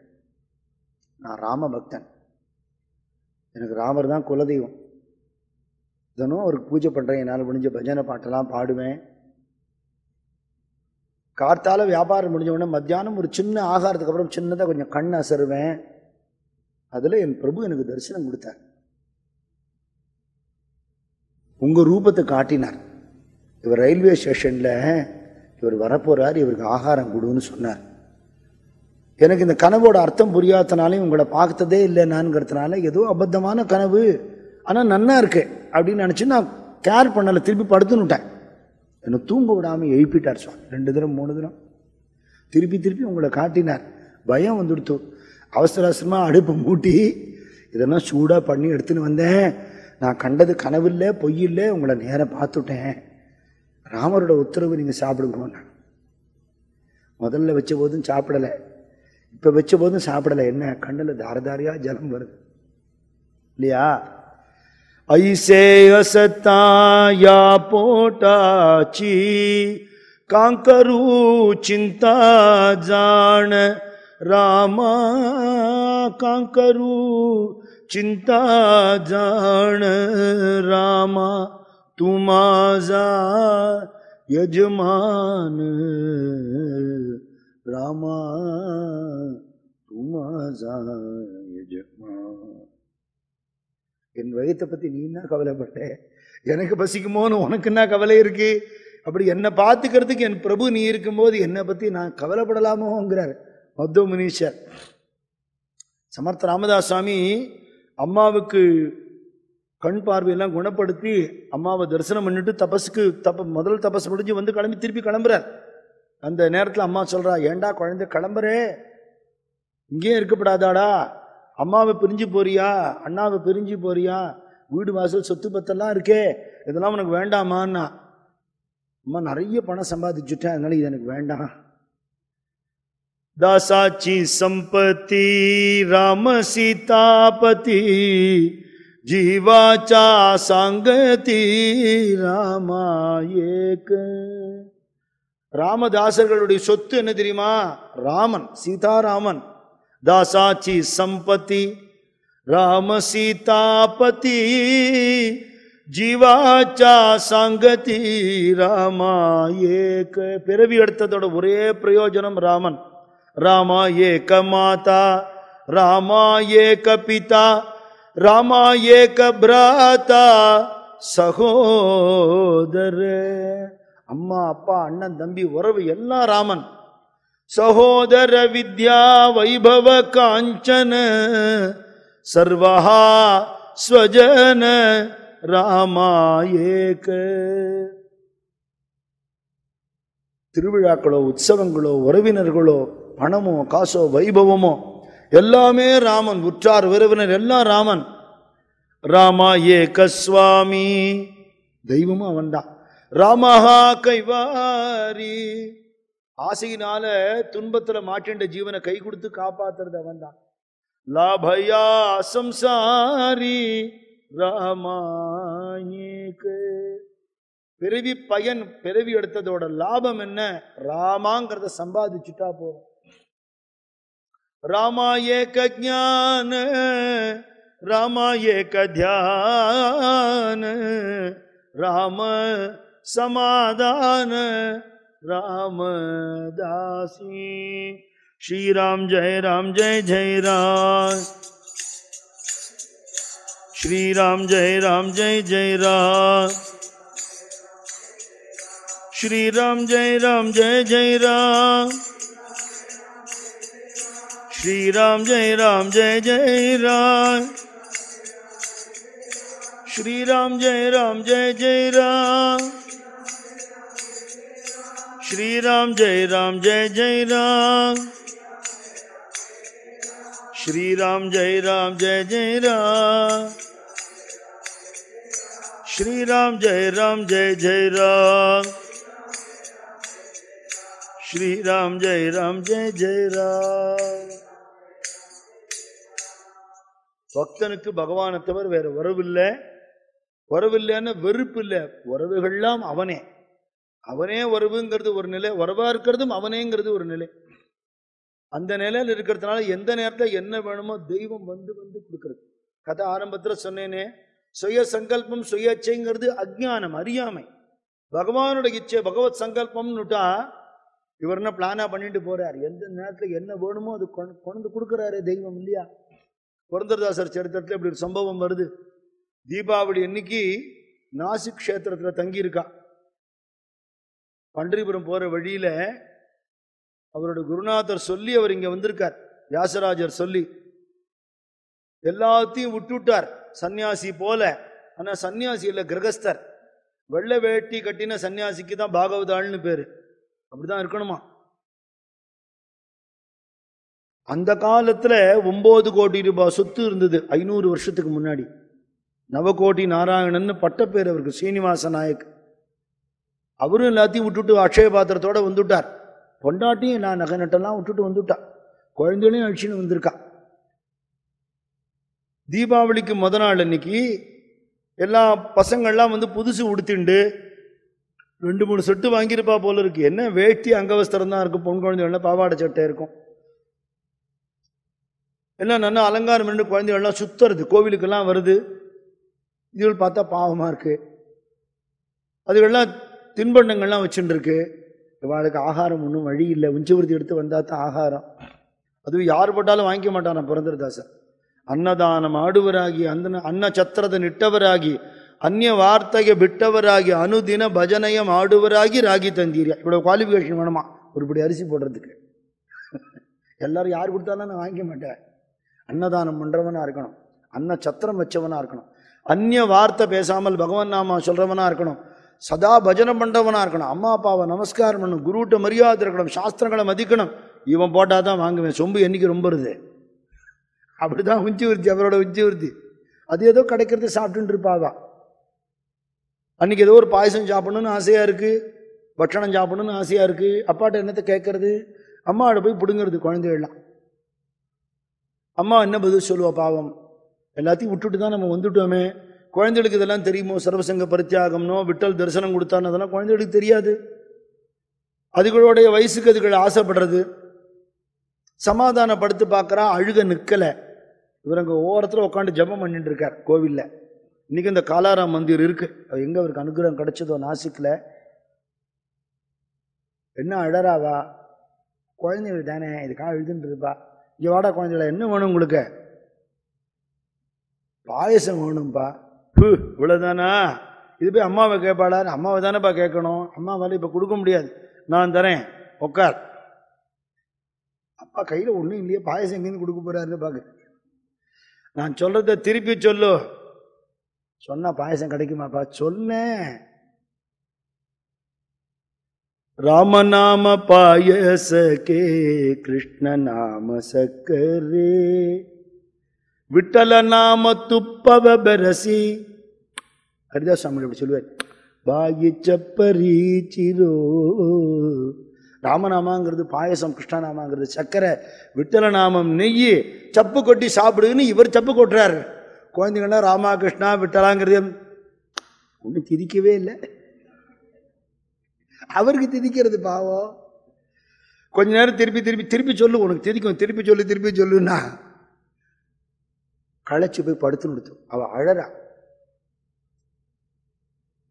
பா பசங்க என்ன பண்ணும்? அதுங்களுக்கு என்ன புரியும்? அர்த்தராத்திரி ஆயிடுத்து அவர் ஒரு பக்கம் களைச்சு படுத்துன்னு விட்டா இவர் ஒரு பக்கம் ஜெபம் பண்ண உட்காந்துட்டு அப்படியே கண்ணை மூடி குழந்தைகள் களைச்சு போய் படுத்துன்னு இந்த காலாராம் கோவிலில் இருக்கிற ராமரும் சீதையும் பிரத்யட்சமாக வந்து இந்த குழந்தைகளுக்கு என்ன ஸ்நானம் பண்ணி வச்சு புது வஸ்திரம் உடுத்தி விட்டு பட்சணங்கள்லாம் கொடுத்து நீங்கள் யாருன்னு கேட்டால் உங்கள் அப்பாவுக்கு நான் ரொம்ப சிநேகித்தேன் அவர் தூங்கிட்டு இருக்கார் ஜெபம் பண்ணுறார் எழுப்பாதே. அப்படின்னு எல்லாம் பண்ணிட்டு கிளம்பி போயிட்டான். இதுகள் சந்தோஷம் தாங்க முடியாமல் அப்பா சொன்னது சொன்னதுனால தானே கிடச்சிதுங்கிறது புரிஞ்சுடுது. அப்பா அன்னைக்கு அந்த நேரத்துக்கு ஒன்றும் கிடைக்கல. இப்போ எல்லாம் கிடைச்சிடுதே. பாயசம் என்ன பட்சணம் என்ன புதுசு எல்லாம் கிடைச்சிடுதே. அதனால் ராமா கிருஷ்ணா கோவிந்தான்னு சொல்ல பசங்க குழந்தைகளோட குரலை கேட்டு கண்ணை திறந்து பார்க்குறார். என்னடா புதுசு கொடுத்துட்டு கேளுன்னு அப்பா அந்த கோவிலில் இருக்கார் அந்த மாமா வந்துட்டு போனான். அந்த மாமி வந்தா. அப்படிங்கிறா குழந்தைகள்லாம். கற்பனை கதை இல்லை இதெல்லாம் சத்தியம். யாருக்கு பக்தி இருக்கோ யாருக்கு பாவம் இருக்கோ வீட்டு வாசலை வந்து தெய்வம் கதவை தட்டும். சுகே ஏத்தோ கரா நாராயணங்கிற துக்காராம் மகாராஜ் இருக்கிற இடத்துல நீ நாமா சொல்லு பக்தி பண்ணு. யோகிராம் சுரத்குமார் சுவாமி சொல்லுவார் கஷ்டப்படுறியா? பாவம் காரணம். பாவம் போகணுமா? நாமா சொல்லு போயிடும் சொல்லிண்டே இரு. பகவான் நாமா இடைவிடாமல் நாமா சொல்லு. இன்னைக்கு மத்தியானம் ஒரு மெசேஜ் எனக்கு வந்தது. யாரோ அனுப்பிச்சிருந்தா ஒரு வாய்ஸ் மை ஆதம் பக்கத்துலேருந்து யாரோ ஒரு மாமி பேசியிருக்கா. இருந்துட்டே இருந்தார் எங்கள் வீட்டுக்காரருக்கு. திடீர்னு ஒரு ஸ்ட்ரோக் மாதிரி வந்துடுத்து போல அந்த அது ஸ்ட்ரோக்குன்னு எங்களுக்கு அப்புறம் தான் தெரிஞ்சுது. பேச முடியாமல் போயிடுத்து அவருக்கு. படபடப்பாகி பேச முடியலங்கிறதுனால என்னை கூப்பிடவும் முடியல. என்ன பண்ணுறதுன்னு ஒரு நிமிஷம் திகச்சு போயிட்டு இருந்துட்டே இருக்கிறது அப்படியே திடீர்னு பல்பு ஃபியூஸ் ஆகிற மாதிரி ஆயிடுத்து ஏதோ. ராமான்னு சொல்ல ட்ரை பண்ணியிருக்கார் நாக்கு சேரலை. திருப்பியும் திரும்பியும் மூணு தடவை நாலு தடவை ட்ரை பண்ண உடனே குழறி குழறி வந்து ராமான்னு வந்துடுத்தான் வந்த உடனே பொண்டாட்டி பேரை சொல்லி கூப்பிட்டுருக்கார் அவள் என்ன என்ன பண்ணுறதுன்னா என்னமோ உடம்பெல்லாம் என்னமோ பண்ணுறது எனக்கு வாயெல்லாம் குழறது கை கால்லாம் சரியாக வேலை பார்க்கலன்னு உடனே அப்ராடில் இருக்கிற பிள்ளைக்கு ஃபோன் பண்ணால் பிள்ளை வந்து இது ஸ்ட்ரோக் சிம்டம் இதுங்கிறத சொல்லாமல் ரஷ் டு டாக்டர்னு சொல்லியிருக்கேன் அப்புறம் டாக்டர்கிட்ட போய் பார்த்த உடனே அவன் டெஸ்ட் எல்லாம் எடுத்து எல்லாம் பண்ணி ரொம்ப யோக்கம் இந்த ரைட் டைம் இது வந்து ஸ்ட்ரோக்கோட ஒரு சிம்டம் இது. நீங்கள் ஒரு ஒரு ஒரு கொஞ்சம் கழிச்சு வந்திருந்தேன்னா அவரை காப்பாற்றிருக்கவே முடியாது. என்ன பண்ணினேன்னு கேட்டால் நான் ராமான்னு சொன்னேன்னாராம். அப்படி சொன்னணும்னு உங்களுக்கு தோணித்து பாருங்க அது ஆச்சரியம். ஏன்னா அந்த ராமா சொல்கிறதுக்கு நீங்கள் பண்ணின பிரயத்தனத்தினால பிளாக்காக இருந்த ரத்தம் ஓடி எடுத்துனாராம் டாக்டர். இன்னைக்கு மத்தியானம் வந்த மெசேஜ் சத்தியம். அதனால் சதா பகவன் நாமா சொல்கிறவனுக்கு பகவான் நினைக்கிறவனுக்கு ஒரு நாளும் துன்பம் வராது. கஷ்டப்படுறவன் கட்டத்தை நினச்சி நினச்சி புலம்புறானே தவிர கட்டத்தை தீக்கிறதுக்கான வழி கையிலேயே இருக்க அனுபவிக்க தெரியலையே. பெரிவாளுடைய மகாபெரிவாளுடைய ஒரு சித்திரப்படத்துக்கு கீழே அவருடைய ஒரு உபதேசம் போட்டிருப்பான். நாக்கு இருக்கு நாமம் இருக்கு கவலை எதுக்கு? அப்படின்னு. அதான் சத்தியம். அந்த நம்பிக்கை இருந்ததுனால ஒரு இடத்துலலாம் அவருக்கு உதவி கிடைச்சிருக்கு. ஆனால் அன்னைக்கு கிடைச்சுடுத்தேன்னு சுவாமிஜி சந்தோஷப்படலை. ராமனோட கருணைன்னு நினைச்சுட்டார். ஆனால் சேட்டு திட்டினானே. அதில் சத்தியம் இருக்குன்னு தோணித்தான் அவருக்கு. திட்டான் கரெக்டு தானே. நாலு பேர்ட்ட பிச்சை எடுத்தானே சாப்பிட்றேன். ஆனால் சன்னியாசி நான் காமியமாக உத்தியோகம் பார்க்கக்கூடாது அவர் என்ன படிப்பு இல்லையா அறிவு இல்லையா திறமை இல்லையா? நான் சன்னியாசி எல்லாத்தையும் விட்டுட்டவன். என் வயிற்றுப்பாட்டுக்காக நான் வந்து உழைச்சி சம்பாதிக்க முடியாது. ஆனால் உழைக்காமல் பிச்சை எடுத்து சாப்பிட்றியேன்னு அந்த சேட்டு திட்டினான். சரிதானே? யார் இறக்கப்பட்டு போடுறா? இவனை மாதிரி உள்ளவா போட மாட்டேங்கிறா. இது யாரோ ஒருத்தன் வந்து கொடுத்துட்டு போன உடனே அந்த சேட்டை எங்கேருந்து வந்து நமஸ்காரம் பண்ணிட்டு போயிட்டான். அது வேற. ராமனே வந்து கனவுல சொன்னார் அவன் சொன்னது பக்கத்தில் இருந்து கேட்டுவிட்டான் இல்லையா? அதனால நமஸ்காரம் பண்ணிட்டு போயிட்டான். அதனால திருந்துவானாங்கிறதெல்லாம் தெரியாது.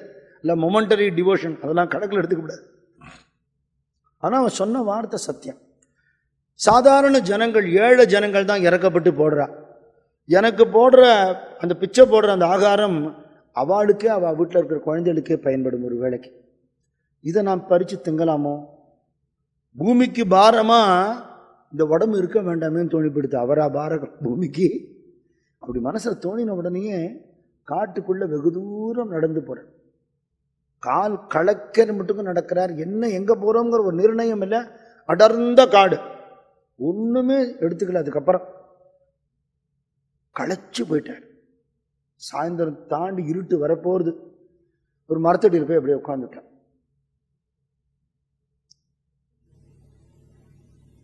சத்த கழித்து அந்த இலை சருகுகள் மேலே யாரோ நடமாடுற சத்தம் கேட்கறது கண்ணை திறந்து பார்த்தா ஒரு புலி.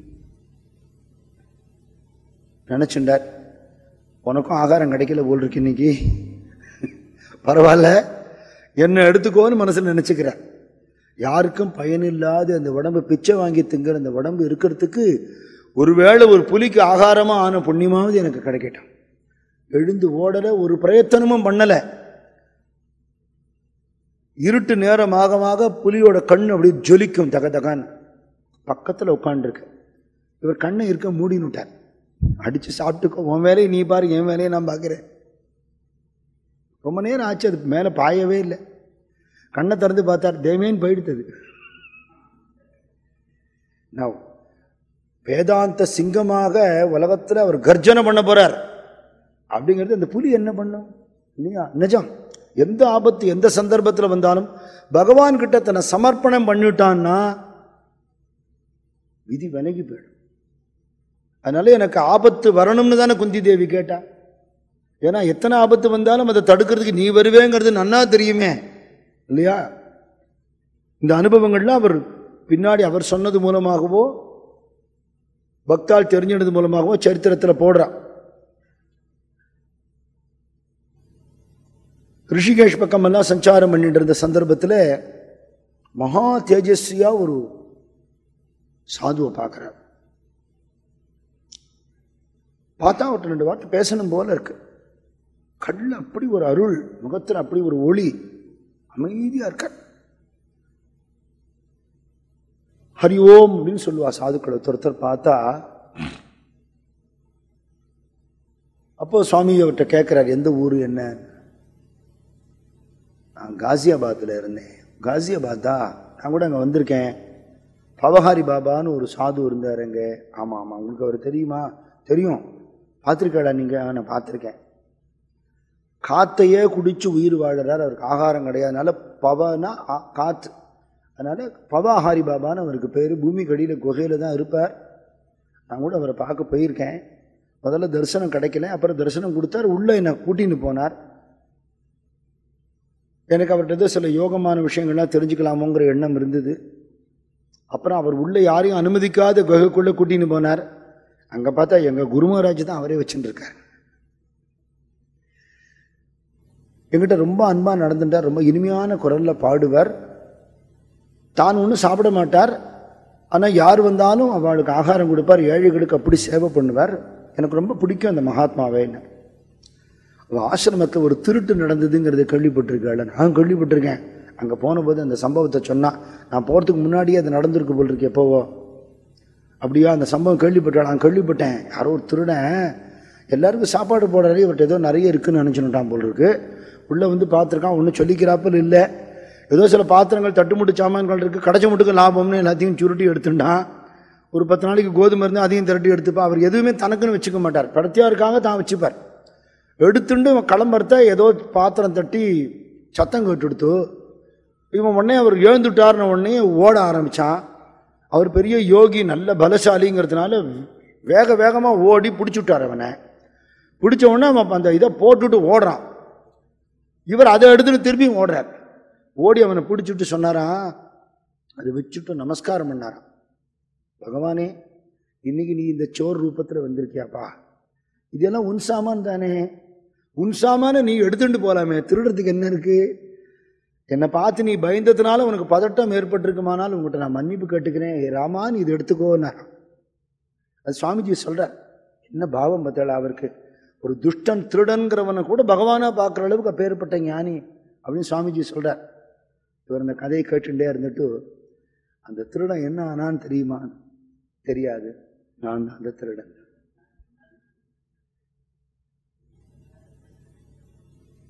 ஆசிரமத்துக்கு இருந்த அந்த செல்வம்னு என்ன இருந்ததோ அந்த பாத்திரத்தை தூக்கின்னு வந்தேன். அதை என் காலில் போட்டு விழுந்து நமஸ்காரம் பண்ணி அந்த சாது பேசினவனு என் மனசு மாறிடுத்து. அட அல்பமே இதுக்கு பின்னாடியா நீ ஓடினேன்னு தோணி அவரை சரணாகதி பண்ணேன். அவர் அனுகிரகத்தினால இன்னைக்கு நான் இப்படி இருக்கேன்னு சொன்னார் சுவாமிஜி நினச்சினாரா ஒருத்தனை பாப்பி துராத்மான்னு நம்ம சொல்லக்கூடாது. அவனுக்கு எந்த நேரத்தில் அனுகிரகம் கிடைக்க போகிறதுன்னு நமக்கு தெரியாது இல்லையா? நேத்தி சுவாமி தியாகானந்தா பேசினார் ரொம்ப அழகாக பேசினார். சாயந்தரம் லெக்சரில் எந்த நிமிஷம் நம்ம இறப்போங்கிறது நமக்கு தெரியாது. எந்த நிமிஷம் நம்ம ஜீவன் முக்தனாவோங்கிறது நமக்கு தெரியாது. ரெண்டும் நம்ம கையில் இல்லை. ஆனால் என்னைக்கும் மரணம் காத்துன்னு இன்றைக்கி இன்னைக்கு ஒருவேளை என்னோட கடைசி நாளாக இருக்கலாம்ங்கிற எண்ணத்தோடு ஒரு ஒரு காரியமும் பண்ணணும்.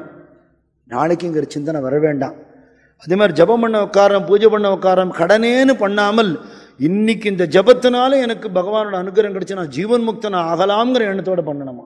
பாசிட்டிவ் தாட்டோட சத்குரு ஞானானந்த சுவாமிகிட்ட ஒருத்தர் சொன்னார் அம்பாள் அனுகிரகம் வேணும் நான் லட்சம் ஆவர்த்தி ஜபம் பண்ணலான்னு இருக்கேன்னு. சாமி சொன்னார் லட்சமா லட்சியமா? அப்படின்னு கேட்டார். நீ லட்சம் ஆவர்த்தி பண்ணா அவ வரேன்னு சொல்லியிருக்காளா? வராமலும் இருக்கலாம். ஒரே ஜபத்தில் கூட வரலாம் தெரியாது. அது நம்ம சாதனையினால கிடைக்கிறது இல்லை அனுகிரகம் பகவானோட கருணையினால கிடைக்கிறதுங்கிறதுனால கருணைக்கு பாத்திரம் ஆறத்துக்கு என்ன உண்டோ அந்த பிரயத்தனம் பண்ணணும். நான் குழந்தை எனக்கு தெய்வம் அருள் பண்ணுங்கிற உறுதியோடு இருக்கணுமே தவிர என்னமோ தலையெழுத்து ஜபம் பண்ணால் என்னத்தை நடக்க போகிறது அப்படின்னுட்டா. இல்லையா? நமக்கு வரக்கூடிய நல்லதும் கெட்டது நம்மளுடைய நெகட்டிவ் ஃபீலிங்ஸ் தானே காரணமாக போகிறது தடுக்கிறது இல்லையா? சுவாமிஜி சொன்னார் ஒரு துராச்சாரின்னு ஒருத்தனை நினைக்கக்கூடாது அபங்கம் இருக்கு. புகா துராச்சாரி விஷயி ஆசக்த संत कृपे त्वरित உத்தரத்தோ மகா பாவியா இருக்கட்டும் உலகமே நிந்திக்கிறவனா இருக்கட்டும் சாதுக்கள் கருணை கிடைச்சா உடனே உதாரணம் ஆயிடுவான் மகாபிரபு சரித்திரத்தில் ஜகாமதாய சரித்திரம் உதாரணம் இல்லையா எப்பேற்பட்ட பாப்பியா இருந்தாலும் மகாபரிவாட்ட வந்து அழுதான் வைத்தான் பெரியவா நான் ஏகப்பட்ட பாவம் பண்ணியிருக்கேன் என் நினைச்சாலே வருத்தமா இருக்கு நெ- வந்துட்டியோ இல்லையோ ஏன் அதெல்லாம் நினைக்கிறேங்கிறது வந்துட்டியோ இல்லையோ உனக்கு தெரியுமா? பகவானுக்கு நிறைய பேர் இருக்கு. பக்த வத்சலன்னு ஒரு பேர் இருக்கு. அந்த பேருக்கு என்ன அர்த்தம்? பக்தாளுக்கு அனுகிரகம் பண்ணுறவன் அவளை குழந்தை போல வாத்சல்யமாக நினைக்கிறவன் அர்த்தம். இன்னொரு பேர் இருக்கு தெரியுமோ? பதித்த பாவனன்னு பேர். யார் பக்தி பண்ணாத பாவம் பண்ணுறானோ அவனையும் காப்பாற்றுறவன் ஒரு பேர் இருக்கு இல்லையா? அந்த பேரை நம்பி தைரியமாக இருங்க துளசிதாசர் சொல்கிறார் ஏ ராமா பத்தித்த பாவனன்னு உனக்கு பேர் உண்டு. இது ரெண்டு பேரில் பதித்தங்கிறது என் பேர் பாவனங்கிறது உன் பேர். என் பேர் தான் ஃபஸ்ட்டு வருது. என்ன மாதிரி பத்து பேர் இருந்தால் தான் உனக்கு அந்த பேர் நிலைக்கும். அதனால் என்னை காப்பாற்றிவிட தயவு பண்ணி அப்படிங்கிற. யாரையும் நம்ம எடை போட முடியாது. எந்த நேரத்தில் யாருக்கு அருள் கிடைக்கும்னு தெரியவே தெரியாது. இந்த பாடத்தை நான் அங்கே கத்துண்டேன்னு சுவாமி சொல்கிறேன் ராஜஸ்தான் ட்ரெயின் டிராவல் போது ஒரு சமயம் ரெண்டு இங்கிலீஷ் பீப்புள் ஏறினா அதில் இந்தியன்ஸ்னாலே கேவலம். அதில் சன்னியாசி மதிக்கவே மாட்டான். அதனால் இவரை பற்றி தூஷணை பண்ணி இங்கிலீஷில் அவளுக்குள்ளே பேசிகிட்டே இருக்கான் அவருக்கு இங்கிலீஷ் தெரியாதுங்கிற எண்ணத்தில் அவர் ரியாக்டே பண்ணலை. அங்கே யாரோ ஒரு ஒரு ஆள் வந்தான் அவன்கிட்ட ஜலம் வேணுங்கிறதுக்காக எனக்கு கிவ் சம் வாட்டர்னு கேட்டேன் எனக்கு இங்கிலீஷ் தெரியுதுன்னு ஆச்சரியப்பட்டான். யூனோ இங்கிலீஷ் அப்படின்னா எஸ் அப்படின்னா இவ்வளோ நேரம் உங்களை திட்டினோமே நீங்கள் ஏன் ரியாக்ட் பண்ணலன்னு கேட்டான். அவர் சிரிச்சுட்டே this is not the first time I come across fools அப்படின்னாரு. முட்டா பசங்களை பார்க்கறது இது முதல் தரம் இல்லைன்னுட்டார். கோபம் வந்துருத்த வாழை இவ்வளவு நம்ம திடீர்னு ஒரு வாரத்தில் அடிச்சு விட்டாரு. உடனே ரெண்டு பேரும் சேர்ந்து ஒத்த சன்னியாசி தானே அடிச்சு விடலான்னு நினைச்சாலாம் அவள் அப்படி நினைக்கிறான்னு தெரிஞ்ச உடனே என்ன பண்ணார் ஜிப்பா கையை அப்படி பண்ணிட்டு அப்படின்னார். இறங்கி போயிட்டான் மிசான் குருமராஜோட சரித்திரம் சொன்னது மாதிரி கொத்தாத சீரும்பார் இல்லையா சுவாமி பயப்படக்கூடாது. அபாரமான தைரியம் வேணும். தெய்வம் நம் நமக்கு துணை பாப்பா ஒரு தீங்கு வர மாட்டாதடி பாப்பான்னு அவ்வளவு தைரியம் வந்துருத்துனா யார் என்ன பண்ணிட முடியும்? இந்த தைரியத்தினாலே ஒத்த சன்னியாசியா உறவுகாரால் இல்லாமல் உடைமைகள் இல்லாமல் தெரிஞ்ச மனுஷான் யாரும் இல்லாமல் பகவானையே நம்பி இந்த தேசம் பூரா சுற்றி வந்திருக்கார். கடல் கடந்து போகும்போது அவருக்கு யார் துணை? பகவான் தான் துணை. தைரியம் தான் துணை. சுவாமி காட்டார் எந்த நேரத்தையும் தைரியத்தை விடக்கூடாது. வராக நகர் அவர் இருந்த காலத்திலேயே இந்த பசங்கள்லாம் பாவம் எல்லாம் இளம் பசங்க. அந்த சரித்திரமான நான் முதல் முதல் வருஷம் சொல்லியிருக்கேன் ஞாபகம் இருக்கும் உங்களுக்கு. இப்போ பத்து பன்னெண்டு பேருக்கு ஒரு வேஷ்டியான் எல்லாரும் கௌபீனத்தோடு தான் இருப்பா மடத்தில். அது பாயடைஞ்ச பேய் பங்களா. அங்கே தான் இருப்பா. ஒரு கொசு பண்ணையே அங்கே இலவசமாக கொசு வளர்த்துட்டு இருக்காங்க சர்வசாதாரணமாக ரத்த தானம் நடக்கிற இடம். யார் பிட்சைக்கு போகணுமோ அவள் அந்த ஒரு வேஷ்டி உடுத்திக்கணும். பாக்கி பேர்லாம் கௌபீனத்தை கட்டி சாதுக்களுக்கு என்ன இருக்குது அப்படி இருந்து ராவும் பகலும் ஆகாரம் கிடைக்கிறதோ கிடைக்கலையோ? பாட்டு பாடாமலோ ஸ்லோகங்கள் சொல்லாமலோ தியானம் பண்ணாமலோ வேதாந்த விஷயங்கள் பேசாமலோ ஒரு நிமிடம் கூட போகாதபடிக்கு அப்படி தபஸுன்னா தபஸ் விராகநகர் வாழ்க்கை. சாமிஜியே பின்னாடி சொல்கிறார் அந்த வாழ்க்கையை நான் மறக்க முடியாது. அந்த சந்தர்ப்பத்தில் சாமிஜிக்கு தெரிஞ்ச ஒரு போலீஸ் ஆஃபீஸர் என் வீட்டில் சாப்பாடு ஏற்பாடு பண்ணியிருக்கேன் இன்னைக்கு வந்து சாப்பிட முடியுமான்னு கேட்டேன் சரின்னு போனேன் போனால் ஒன்றும் ஆகாரம் கொடுக்குற மாதிரியோ விருந்து வைக்கிற மாதிரி தெரியல. தனியாக ஒரு ரூம்குள்ளே கூட்டின்னு போனார். கூட்டின்னு போய் கதவை சாத்திட்டார். சாத்திட்டு உண்மையை சொல்லுன்னேன் என்ன உண்மை? அப்படின்னு. நீ வந்து கவர்மெண்ட்டுக்கு எதிராக சதி திட்டங்கள்லாம் திட்டறதாக எங்களுக்கு தகவல் வந்திருக்கு. நீ உன்னை சேர்ந்த பசங்கள்லாம் எங்கெல்லாம் சாமியார்கள்ங்கிற பேரில் தேச துரோகம் பண்ணிட்டு அப்படிங்கிற இன்ஃபர்மேஷன் வந்துடுத்து உண்மையை ஒத்துண்டா தண்டனை குறையும் இல்லைன்னா ஆபத்து அப்படின்னு. என்ன மிரட்டுறலான்னு ஆமாம் நான் உன்னை ஃப்ரெண்டாக கூப்பிடல போலீஸ் ஆஃபீஸராக கூப்பிட்டேன் சுவாமிஜி நேராக கதவு கிட்ட போனார். ஓடுறதுக்கு முயற்சி பண்ணாதேனார் கதவை தாப்பா போட்டுட்டு திரும்பி வந்தார். அவன் விருந்ததானே தானே சாத்தினான் தாப்பா போட்டு திரும்பி வந்தோடனே கை இப்படி பண்ணிட்டார். தப்பா என்னை பற்றி புரிஞ்சுண்டு அநாகரிகமாக பேசுகிறேள் நீங்கள் வந்து பார்க்கணும். நாங்கள் ஹோல் டே இருந்து நாங்கள் என்ன பண்ணுறோன்னு பார்க்கணும். அப்படி பார்க்காமல் வசதி இல்லாதவானோ ஆன்மீகத்தில் இருக்கிறவாங்கிற எண்ணத்தினோ எங்களை தப்பாக நினச்சின்னு தேச துரோக குற்றம் சாட்ட நேர் நினைச்சால் அப்படின்னு ஆக்ரோஷமாக பேசின்னு கிட்ட வந்தார். நான் நடுங்கி போயிட்டான். நரேன் என்னை ஒன்றும் பண்ணிடாதேன்னா. சேச்சே அதெல்லாம் நான் பண்ண மாட்டேன். நான் சன்னியாசி நாங்கள்லாம் மனசளவில் உலகத்தை துறந்தவா. நீ சொல்ற மாதிரி தேச துரோகம் பண்றவனா இருந்தா இந்த ரூம்லயோ வெளியில சத்தம் கூட கேட்காம உன் கணக்கை என்னால் தீர்க்க முடியும். அது எங்களோட வேலை இல்லை. அப்படியே கதவை திறந்து வெளியில போயிட்டார் அவன் பயத்திலேருந்து வெளியில வரத்துக்கே நேரம் ஆயிடுதான். சுவாமிஜி சொல்றார் தேவையில்லாத பழியை தாங்க வேண்டிய அவசியம் இல்லை. தர்மத்துல தைரியமா இருங்கிற. சாதாரண நிந்தையை பொறுத்துப்பார். ஆனால் தேசத்தையோ தர்மத்தையோ யாராவது தூஷணை பண்ணா சுவாமிஜியால் அதை தாங்க முடியாது. இன்னொரு இடத்துல டிராவல் பண்ணும் பொழுது அவர் பக்கத்தில் ஒரு ஆள். படித்தவர் அண்ணா சுவாமிஜி நீங்கள் யாரு தெரிஞ்சுக்கலாமா? எத்தனையோ சன்னியாசிகள் இருக்கான் அந்த தேசத்தில்? நானும் ஒரு சன்னியாசி. எந்த ஊர்லேருந்து வரேன்? நான் அப்படி தேசம் பூரா சுற்றிட்டு இருக்கேன் ஹிமாலயாஸ்லேருந்து வரேன். நான் பல இடத்துக்கு போயிருக்கேன். ஹிமாலயாஸ் போயிருக்கேளா போயிருக்கேன். அங்கே நிறைய சித்தர்கள்லாம் இருக்காளாமே. நீங்கள் பார்த்துருக்கல மாதிரி யாரையாவது? சுவாமிஜி பார்த்தார் அவர் கொஞ்சம் காமெடி மூடு வந்துடுச்சு. நான் பெரிய பெரிய சித்தர்கள்லாம் பார்த்துருக்கேன். அ- அதிமானுஷ்யமான காரியங்கள் பண்ணுறவா அப்படியா? கொஞ்சம் சொல்லுங்க பார்க்கலாம். அவள்லாம் அந்த உலகம் எப்போ முடிய போகிறதுங்கிறது கூட சொல்லிட்டா என்கிட்ட. அவ்வளோ தேவ ரகசியங்கள்லாம் சொல்லியிருக்கான். அவர் பாட்டுக்கு அடித்து விடுறாரு வரிசையாக இவனு கேட்டுட்டே வரான். ஒரு ஸ்டேஷன் வந்தது அவன் இறங்கணும் இவர் இறங்கினார். சாப்பிட்டேலான்னு கேட்டான். இல்லைன்னொடனே அவர் சாப்பாடு ஏற்பாடு பண்ணி கொடுத்தான். எவ்வளோ விஷயங்கள்லாம் என்கிட்ட சொல்லியிருக்க எவ்வளோ சித்தர்கள் மகான்கள்லாம் பார்த்துருக்கள் நீங்கள் ஒளி உடம்போடலாம் இருப்பான்லாம் சொல்லுவாளே. வேணா நீங்கள் பார்த்துருக்கள். அவர் சொன்னார் படித்தவன் ஏன் நீ? நான் சொன்னது அவ்வளோ புழுகு. இதை ஏன் நீ நம்புற? அதிசயம்ங்கிறது என்ன தெரியுமா? ஆசைக்கு உட்பட்ட மனசோட வேகத்தை அடக்கிறது அதிசயம். ஞானானந்த சுவாமி சொல்லுவார் சிவனோடு ஒன்றாவானே சித்தன் சித்தன்கிறான் வெறும் வித்த மிராக்கள் பண்ணுறதில்ல மனசுக்கு இயற்கையாகவே சில வேகங்கள் உண்டு சில ஆசைகள் உண்டு.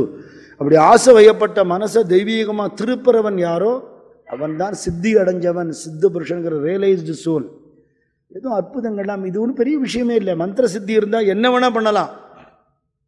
குருமராஜோட காலத்திலேயே அவர் பார்க்கறதுக்கு ரெண்டு சித்தர்கள் வந்திருக்கான். அதில் ஒருத்தருடைய முதுகுத்தண்டுலேருந்து ஒளி வந்து இருட்டுக்கு அப்படி வெளிச்சம் கொடுத்ததுன்னு குருமராஜர் சொல்கிறார் ஆனால் அந்த சித்திகள்லாம் தப்புங்கிறார். அந்த சித்தினால் அந்த ஆள் என்ன பண்ணினார்? தெய்வத்தை அடையிறதுக்கு அதை பயன்படுத்தலாம் பயன்படுத்தவும் முடியாது.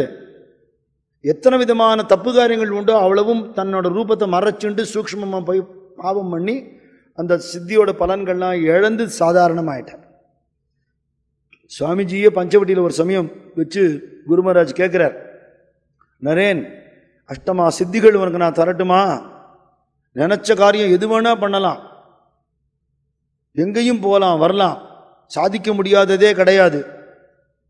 சிரிச்சுட்டே சொல்கிறார் இதனால் பகவான் அடைய முடியுமாண்ணா சத்தியமாக முடியாது. அப்போ அது வேண்டவே வேண்டாம் எனக்குன்னுட்டாரு நீ பண்ணுற காரியங்கள் பின்னாடி இதெல்லாம் பயன்படும்னார். சுவாமிஜி சம்மதிக்கல. குருதேவர் கொடுத்துருப்பார் அதை சுவாமிஜி தேவைப்படும் போது பயன்படுத்திட்டு இருக்கலாம் அது வேறு விஷயம். ஆனால் சுவாமிஜி சொல்கிறார் இந்த சித்திகள் காட்டுறதுங்கிறது ஒரு தவறான நிலை. இதனால புகழ் வரும். ஒன்ன பகவான்னு பல பேர் ஸ்துதி பண்ணுவான் அகங்காரத்தினால நாசமா போறதுக்கு தான் வழி. இதெல்லாம் நம்பாதே. உண்மையான ஆன்மீகம்ங்கிறது வேற. பகவான் இருக்கிற இருப்ப தனக்குள்ளேயே இருக்கிற தெய்வத்தை உணர்றவன் தான் உண்மையான ஆன்மீகவாதி.